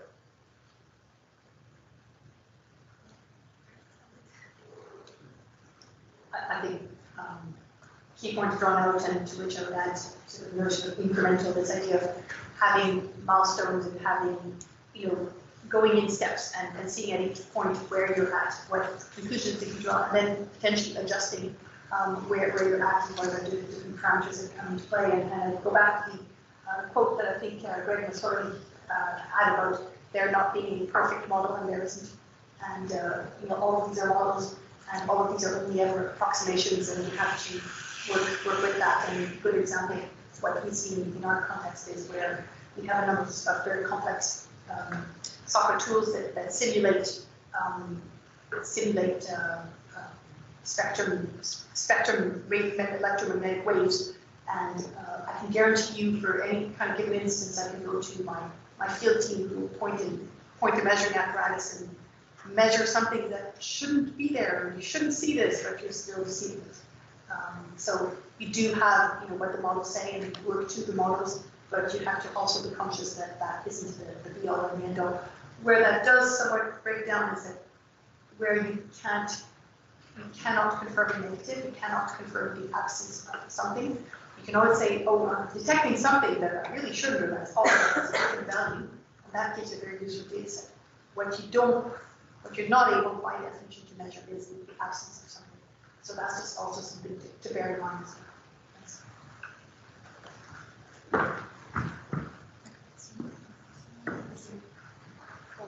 well. So I would like to thank you so much for the brilliant talks and also the discussion. It's been very, very useful for me, actually, for the whole audience. So my question is about inclusive smart city. So how do you imagine, uh, based on your background, based on your field, how do you imagine inclusive smart city? If you allow me, I'd like to welcome uh, the MBE, Betsy Bernard uh, Israel, uh, CEO uh, and founder of Pharma Charlie. And I would like to start, if you don't mind, asking her this question and then we'll pass Thank you, thank you very much. I, I think in terms of inclusion, uh, the way you approach smart city is actually to open it. Um, and actually what we're doing in farming is we're trying to put farming at the heart of the city, not in vertical farms, but in people's rooftops and other places to make it accessible and uh, cut down some of the supply chain, for instance. So I, think it's just trying to address a wide variety of needs where they are. And, and I think when we discuss AI, one of the important aspects is wonderful to see so many women in different profiles, academia, industry, and etc. But it's exactly that is that when you talk data, it's only valuable when you have that kind of representativeness of the data. And if it's only designed by one group of people, you will have something that is going to be missed. So trying to make sure that that representation of what we try to achieve is done through data processes um, is critical. So um, two things I think I could mention is that there is a Bridge AI call from Innovate UK that maybe people in the audience are interested to. I think it's an important thing that is happening. Uh, the second thing is that the International Telecommunications Union have a large group on the technical sector on smart cities, and they're doing that from a UN perspective, so trying to develop uh, that on a world level. And uh, the UK has been quite a leading country in working on smart cities, and I went to Taiwan um, a month ago uh, talking about what I'm doing, doing in farming, but with also other startups uh, interested in smart cities, and there's so much to learn across the border what some other countries are doing. So um, I suppose from academia and from industry and from wherever you are, you need to look at what is happening elsewhere to be able to, to be inclusive. I'm sure the panel will have other views. Yeah, find the, the um, full conversation around inclusive design really interesting. Think it's, it's really fundamental um, to getting to net zero in cities and across the world, particularly from a specific uh, perspective of transport. Um, so, you know, we talk a lot at Transport for London about improving to travel, getting more people onto public transport, um, and we can't do that if we don't have an inclusive network which works for, for everyone. Um, and so it's, it's really important for us to make sure we bring all stakeholders along for the journey when we're designing our customer experiences, that we're not leaving groups out. Um, to make sure we, we get to a point where we are creating an offering which is a real alternative to the car. In a lot of cases, it's, it's those diverse groups who need to rely more on, on a car as opposed to being able to, to, um, uh, to, to walk or, or, cycle or use the tube in a lot of cases where we just don't have lifts and escalators because of the age of our network. So it's, it's a real challenge for us and something which we, we need to get really good at. Um, one of the, um, an example of, of kind of inclusive design or inclusive thinking which really uh, strikes me, and I, I really like the example, is one of the engineers in our organisation. He does a lot of STEM outreach, goes into a lot of primary schools to talk about engineering. Um, and one of the exercises he does is, is ask kids um, to uh, draw, you know, what, what would, how would they design a bus? If they were an engineer um, and they wanted to design a double deck bus, what would they do? And obviously, you know, it's a great activity for kids and also gets them thinking about some of the different systems on a bus. Um, and as he was walking around the classroom, one of the examples that he, he saw was, was a, uh, sort of a pair of kids had, had drawn a double deck bus with a lift in it. Um, and as an engineer, you probably go, well, well, I don't know about that, but that's, that's really, you know, really sweet they've done that, you know, can't see how we're going to get a lift in a bus, but, you know, that's a fun idea. And when he asked, you know, oh, why, why have you drawn, drawn a lift in a bus? And they said, because, you know, one of their classmates um, uh, is in a wheelchair, and they would like her to be able to, to go up to and ride on the top deck of the bus and, you know, get that better view that you get at the top of the bus. Um, I think that's, that's amazing. You know, um, uh, a lot of the time we, we don't necessarily really think about design which is inclusive and, and equal, not just you know being able to get onto the bus, but actually have that same level of experience. And I think that's what certainly as TFL and you know lots of other client organisations who are designing customer experiences, that's what we really need to get to if, if we're going to get uh, all the good social and environmental outcomes that we need to out of um, infrastructure. Um, I just wanted to add one of the example of the recent project that I worked on as well, where you think about on-street electrical vehicle charge point, like you think about normally like the rapid and ultra rapid charge point, the cable are very heavy. So um, there was a workshop with um, BSI. Uh, they recently published a, a, like a standard about how had a recommendation around how to design an electrical vehicle charge. We talk about like all the drop cut, like if you imagine like most of the time the charge point itself is on the pavement, and then if you have a wheelchair, how are you gonna go down to the level, same level of and plug it in, and at the same time you need to control where your wheel is going, and then one hand of that very heavy cable.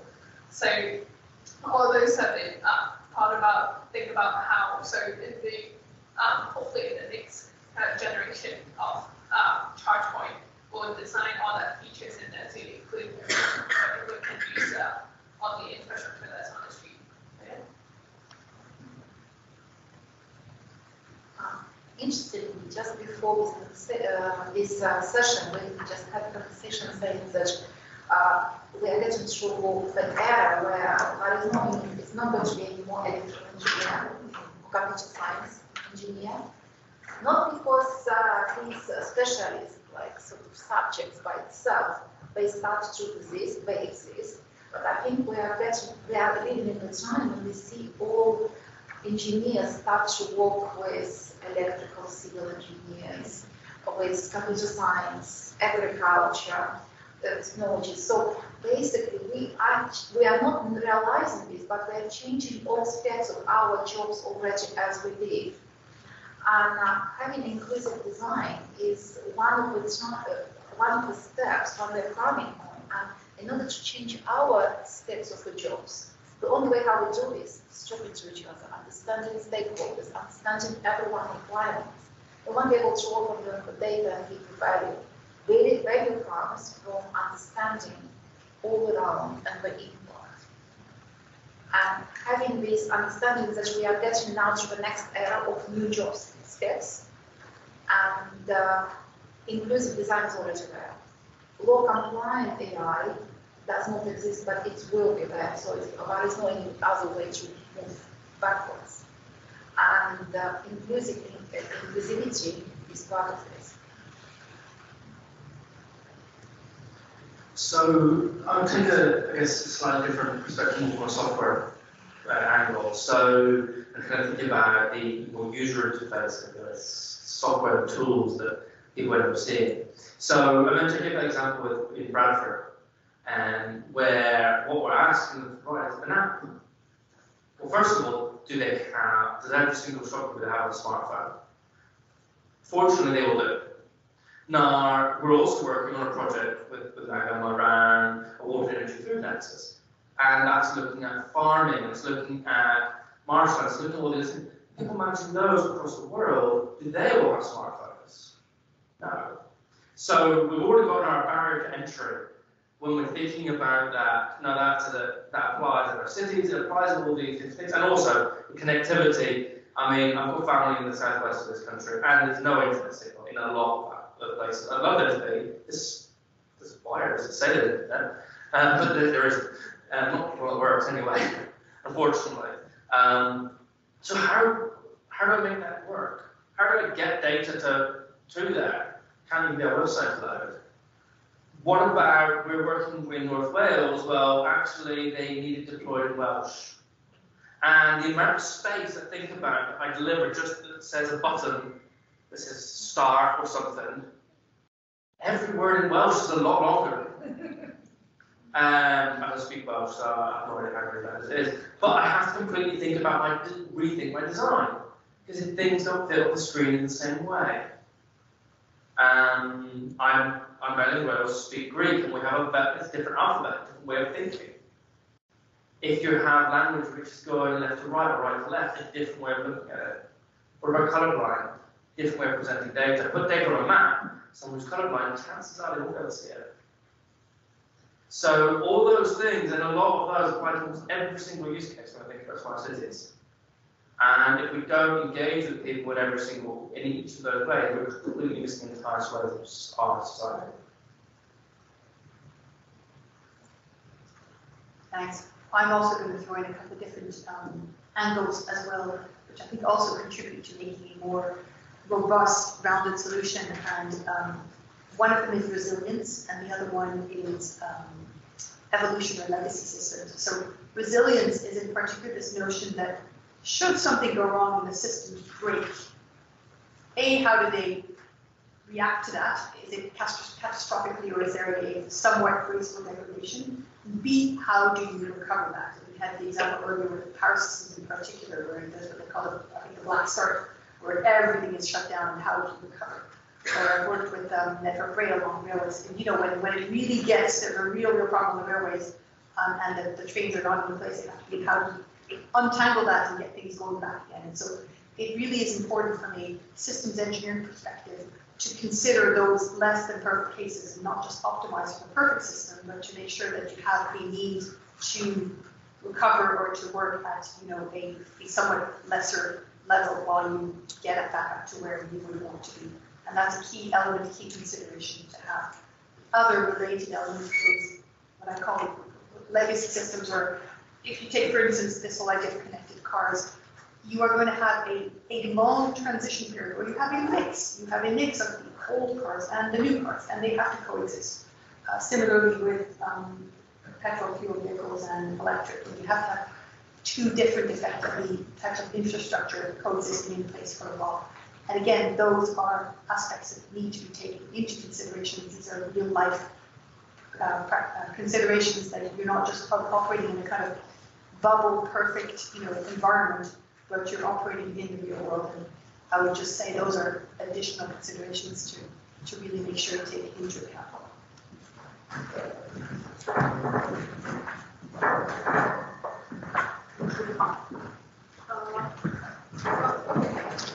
Hi, I'm Farah, I'm a PhD student at Westminster, and my question is about data. So you've talked a lot about um, connecting different systems in cities and making them speak to each other. But my question is more about data storage and processing. So in the future, will how do you think that aspect of data management is going to be thought of in terms of cities? Are we going to think about building our cities differently?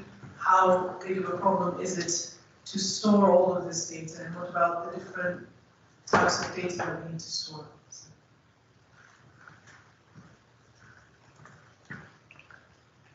So I think extent we don't we don't know, um, but there's a lot of things we've tried out. So um, in um, New York, there's a trial where they're looking at it as rings. So having basic tiers, there's tiers one to tier four, very much built on the idea of utility of the energy network, um, which has kind of different levels within that. So saying, actually, can we put a mini data center on the edge within every block of flats? Have local storage there that is useful, um, and then put it per block, then move it up to city level, and then move it up to national level. And very much how a lot of our national infrastructures work. They work in this tiered federated structure. And can we do the same with data and compute? Because the reality is, do I need to send my data from here to Ireland to store it and then just to view it on a web page? I really don't. I shouldn't have to. But the reality is, I'm in Leeds. There's four data centers in Leeds. Why am I sending it to far London? Because that takes energy as well. But I probably want to send it back up to London in case there's a failure in that data center. So that's probably most one of the most common approaches that I'm seeing happening. Um, but it really it's a it's very much commercial game. I was going to say, and that's probably the biggest challenge is that everyone wants to own that whole piece, which makes it very hard. Um, so it is a race to see who builds the right data centers where, and then it's how do you make them compatible with each other. Because can you have your data stored in AWS and Azure GCP and IBM? So one of the trends there is thinking about multi-cloud type storage, which brings a whole range of other challenges for another day. I would add, um, it's, something actually we were experiencing as well, where you know, there's a big push towards cloudifying, putting the data in the cloud, and the cloud, as you say, it could be Ireland, it could be you know around the world, and the economics and, and, the processing and the data and the energy that's involved in that. Um, I think fundamentally there's going to start being more recognition and realization of that, that impact that that has and there's a real need to, to think upfront of data usage, not necessarily knowing how much data you're going to capture, but at least pick up on that metadata early on to understand what is the um, what are the attributes of that data, how long do you anticipate that that data is going to be stored for, uh, and that you start making some decisions early on and not just kind of stick it all in a big cloud somewhere and then worry about it afterwards. And more and more, I think organizations are starting to get to that level of maturity and um, there comes a point where you have to kind of draw a line in the sand and say, well, maybe we've done it this way in somewhat unorganized manner until now, but going forward, it does need to be more, more structured. I think there's going to be more evolution in that um, across the board. Um, I very much agree with everything that's been said. Uh, but maybe some what I'm seeing already, we have a lot of data collection companies. Data collection companies, some of them collect every second of the data. So we do have collect, and uh, if they collected for one or two years, suddenly COVID hit, and all the dynamics and all they collected is not usable anymore.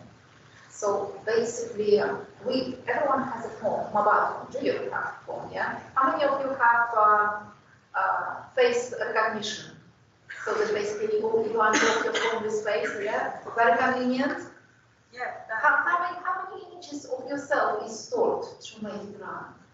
Do you store thousands of your images to my So many, I hope no one sees them. yeah, but I'm thinking about images. I'm thinking about how much of AI needed to have a data to start to recognize your face. Do you remember when you started to make it activate? So you get like turning it around, get up, get the features, but it hasn't saved your data. Because we are now working only on small, simple application, you are not saving your data through every single time unlock on fingerprint or face, because we know it. In industrial world, we don't know yet the value of the data. We don't know what it will bring value and how. And as soon as we start to understand this, we'll start to create very similar applications where you don't need to store and collect all data. Yes, you will need to get some data, but will be different type. Not collection for the purpose of collection, but understanding when you need to do this and where the value comes. It's more value-based collection.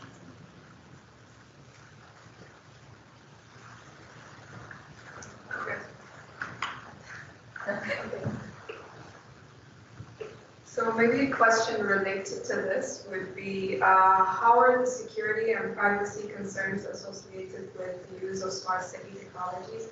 And how can we go further away from the risks?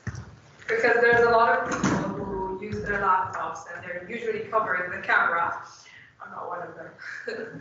but uh, because they feel like they're like there isn't any privacy and usually whenever we open any random website, they ask us if we want to allow cookies or something like that. And I noticed many people not allowing it and then they're not able to actually access the website. So my question would be, yeah, again on privacy.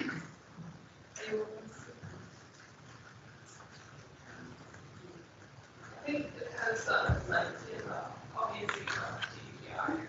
Um, in terms of like CCTV, like if they're pointing into like advertisements, it'll be like every month, so every month look into it. Um, the looking together, there's like a cybersecurity um, that they are and professional and it looks like all how we need to protect all the data that we collect. Um, Um, I do like my privacy. I don't like anyone to see this, but this is the reason why we need to start to think about designing system that allows privacy. The number I told you about dynamics of the data. Get dynamics of the data, not necessarily the actual attributes and personalization attributed to it. And this will help us out. But what I can really say from privacy now needs to be considered in several tiers. My personal data, my personal data stored in the company, but also different companies, they consider their value for the data, and this will be completely different from privacy than the personal one. And even rules that we are just raising the legal one, I think the next tiers will be emerging very quickly. And especially with digital twins, I think you, you will see more than anyone else when different organizations would like to be part of digital twin, but they don't want to share their individual data. How do you handle this? so do you allow cookies? I mean, I think there's there's an interesting kind of dynamic there where there's a trade-off of if we want to accept services with a certain extent, the trade-off is you get the, get the data, you give it. I mean, that's that's part of the, the world we live in, isn't it? Um, that's a trade-off to work out whether we accept it.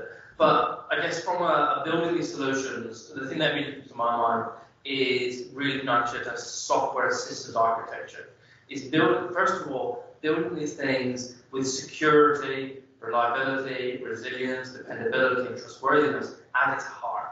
The reality is most systems aren't. You can log in, and that's that's probably all security there is. It's, you ask for username and password. Maybe it's two-factor authentication if you're lucky. Um, and then most of us turn that off because it drives, it, drives a lot of people mad because there's too much of a delay to log in and it times out. So how do we actually build this? And the US has legislated that, particularly in the field of digital twins, you have to build it with a zero trust architecture. You have to adopt an approach where different parts of the system are secure in their own right. Um, are people it properly? Probably not. However, imbuing these principles in at the very beginning, as we're architecting these things, is the first step to make sure the right data is only used for the right purposes. But also when we look at federated systems, different systems of collecting data, be able to slice and dice, almost as if you're querying a database. Take the right columns, the right bits of that data for the right purposes, which also helps in reuse and sharing as well. Um, so I'm thinking more from systems architecture perspective as of right now. I think the standards for this continue to evolve. It is a moving target, um, and it's something that uh, we're going to see more and more of. Um, we we follow that as it goes through, and um, you know, you know, watch this space. Okay, one last very quick question.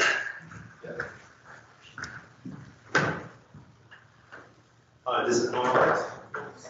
Sorry. Oh, Hi, this is Mark. Um, director of automotive. I've been working in automotive for a long time and working in data and connectivity for a very long period of time. The problem is now, the minute you're going to start, as you said, start to do all the security, you're not going to do, use anything. Life is becoming very hard as it is. People know your data already. It's been used so many places. I was in a flight coming from Gothenburg to the UK, chatting to someone about uh, Rolls-Royce engines. And as I've landed, LinkedIn showed me something about the new Rolls-Royce engine and what they're doing. And it was absolutely, my phone was turned off at the time because I was in the flight mode. And then when we landed, that happened. So whatever you're trying to do nowadays, it will going to restrict your life if you start to go super conscious about security. And I've seen people very, very anxious and really scared to the point I started to see people walking with an old Nokia phone, the 3210, because they're too scared to use a normal, uh, normal mobile phone anymore. So I think we, we got to start trusting a bit of the system.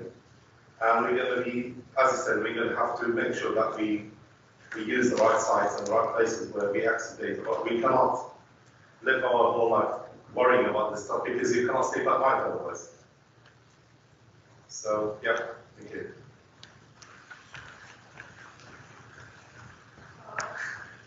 Sorry. Not funny.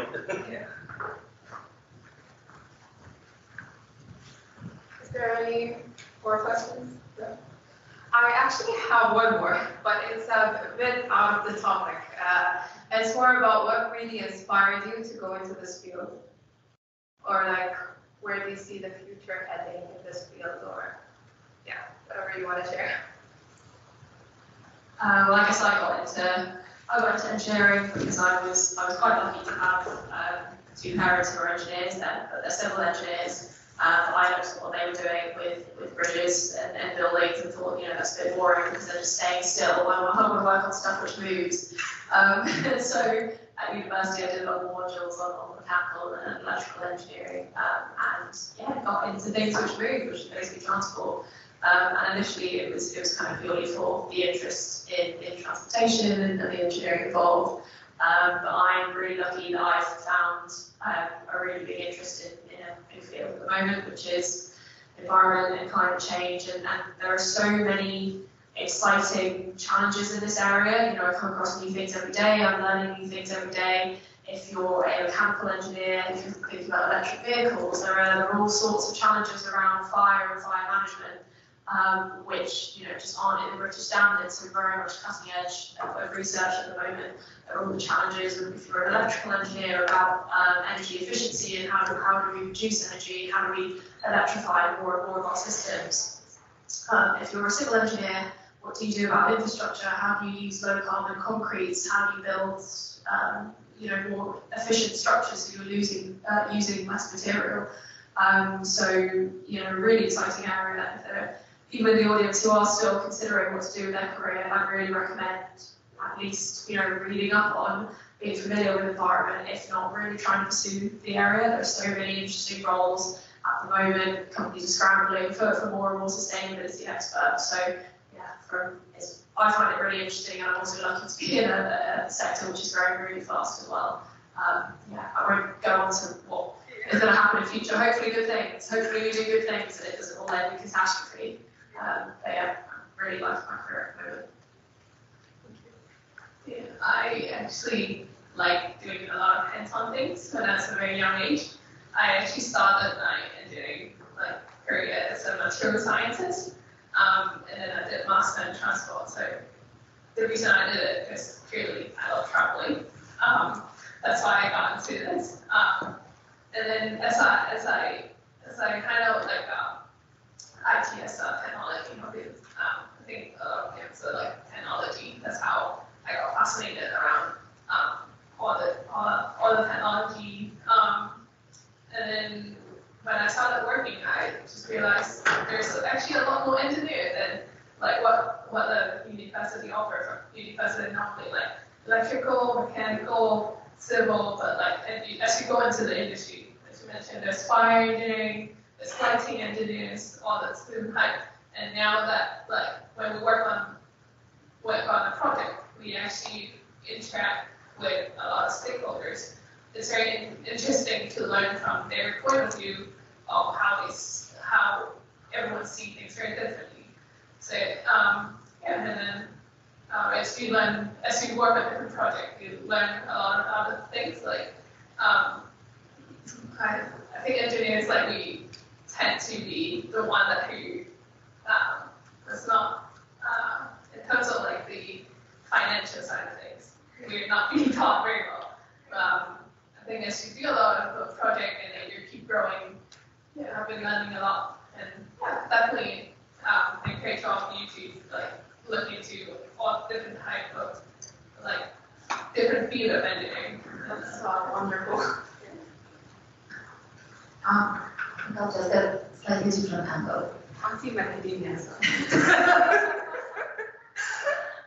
We're speaking about smart cities, and I think people are thinking, oh yes, we'll achieve smart cities and nothing beyond. With developing technologies and levels of technologies, I think the definition of smart city will be gradually changing. And it's an evolutionary process. It's not something that should all come, and I'm sure that all of you will ask what does mean smart cities. Even even one, I'm not speaking about even audience, will look different angle. And once we achieve one angle, we will not be stopping there. We will be considering the next one, and with new technologies, another ChatGPT will be enabled coming in. Suddenly, all our vision will be completely changed. And I think uh, vision, vision, like smart cities coming up, is using opportunities of existing enablers, capitalizing what we have, and bringing down the world to be better.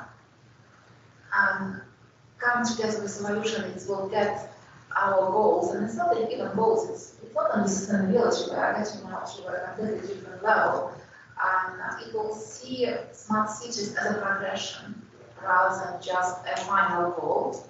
I think we will see and bring far more than what we are ready to I think with new developments, there are new challenges, so things that we might have there not also- thought of before. You see, you always Yeah. start to think about new challenges, we have reached this one. And this will brainstorming is about. So, for me, one of the things I find fascinating as a software engineer and engineering practice, I think we're definitely, a, I'll call us a species of engineers where we're willing to work really hard in order to be lazy. Um, I mean, one of the more motivating use cases for the internet was the person who had to get up their chair to make coffee. I mean, you know, so as a software engineer, and the key thing for motivating me around digital twins was I didn't like of the office to go and count cars and do all the field work. So I figured I'd build models and simulations to do that. Um, so I was willing to put in very long hours, stupid long hours, years over in models, maths, software engineering, so that I didn't have to go which in theory would only take me two weeks. So there's something slightly wrong there, but that's, that's, that's engineering for you, and it's all about that efficiency, optimization, and it was seeing the fact that their colleagues who were making mistakes, because there's an analogy I give. So when we were building, we were uh, simulating data centers, and when we entered any thermodynamic project data centers, you always need a thermodynamic engineer, you needed a software engineer for how a data center scheduler runs, and then you needed a simulation engineer to figure out the thing. And all three would have to be PhD level and probably a team of each. And I don't yet know anyone who has three PhDs across those three subjects. So how do you automate some of those so you can actually enable people to do that and tackle the problems that are really interesting? Um, and also, I don't cars. I I think, um, forget who said it, making the world better, and that sounds trite, but, but it is, and I think ultimately we want to do that, and where, to my mind, engineering lets you come up with something that is, in the end, is tangible and real, and that you can point to and say, this, this happened, um, this works, and there's also an element of team building, uh, team working, because generally it's not one lone, you know, brilliant person working in to make it happen. It's about putting several heads together, several perspectives, and making it work. Um, a final point I think is around it's it brings into play the wider parts of society as well, because real challenge in engineering actually is is that you have a particular you know task or remit, but there are budget considerations, there are timing considerations, there are resource considerations, and it's how you pull all those together to come up with something. And oftentimes having those constraints is what brings out the best and brings out the creativity and, and the different opportunities. I think it's the challenge of that that really makes it exciting. I would say as well, and listening to everyone talking, we're all kind of establishing our careers and involved in, and I think we're all uh, listening to everybody else about really interesting projects. And we're, we're enjoying it. I think we're all enjoying what we do.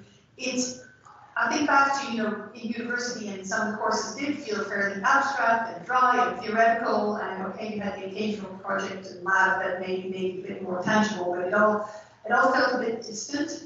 Um, but in a way that, that, you know, it sets you up with the, the back, the knowledge and the, the understanding and the mechanisms, the tools that you then use further on in your career to then apply to these very real, practical, uh, tangible projects that, that ultimately hopefully benefit society and benefit yourselves and, and wider, wider, um, the wider world. So I think that's what um, is, is of interest. That's what, could I have articulated it like that when I went into engineering? No, but um, it's, it's how it's worked out and uh, very pleased with that. Thank you. Thank you. Thank you very much for uh, this wonderful discussion and uh, for the talks. They, they were quite interesting I've learned a lot, uh, especially when collecting data should be outside. that I will never forget. so, yeah, thank you very much and I think we can give a big clap. And then I would like to invite uh, Dr. Nagham and Dr. Mona and Dr. Saima for a simple appreciation for our panelists, giving them some certificates.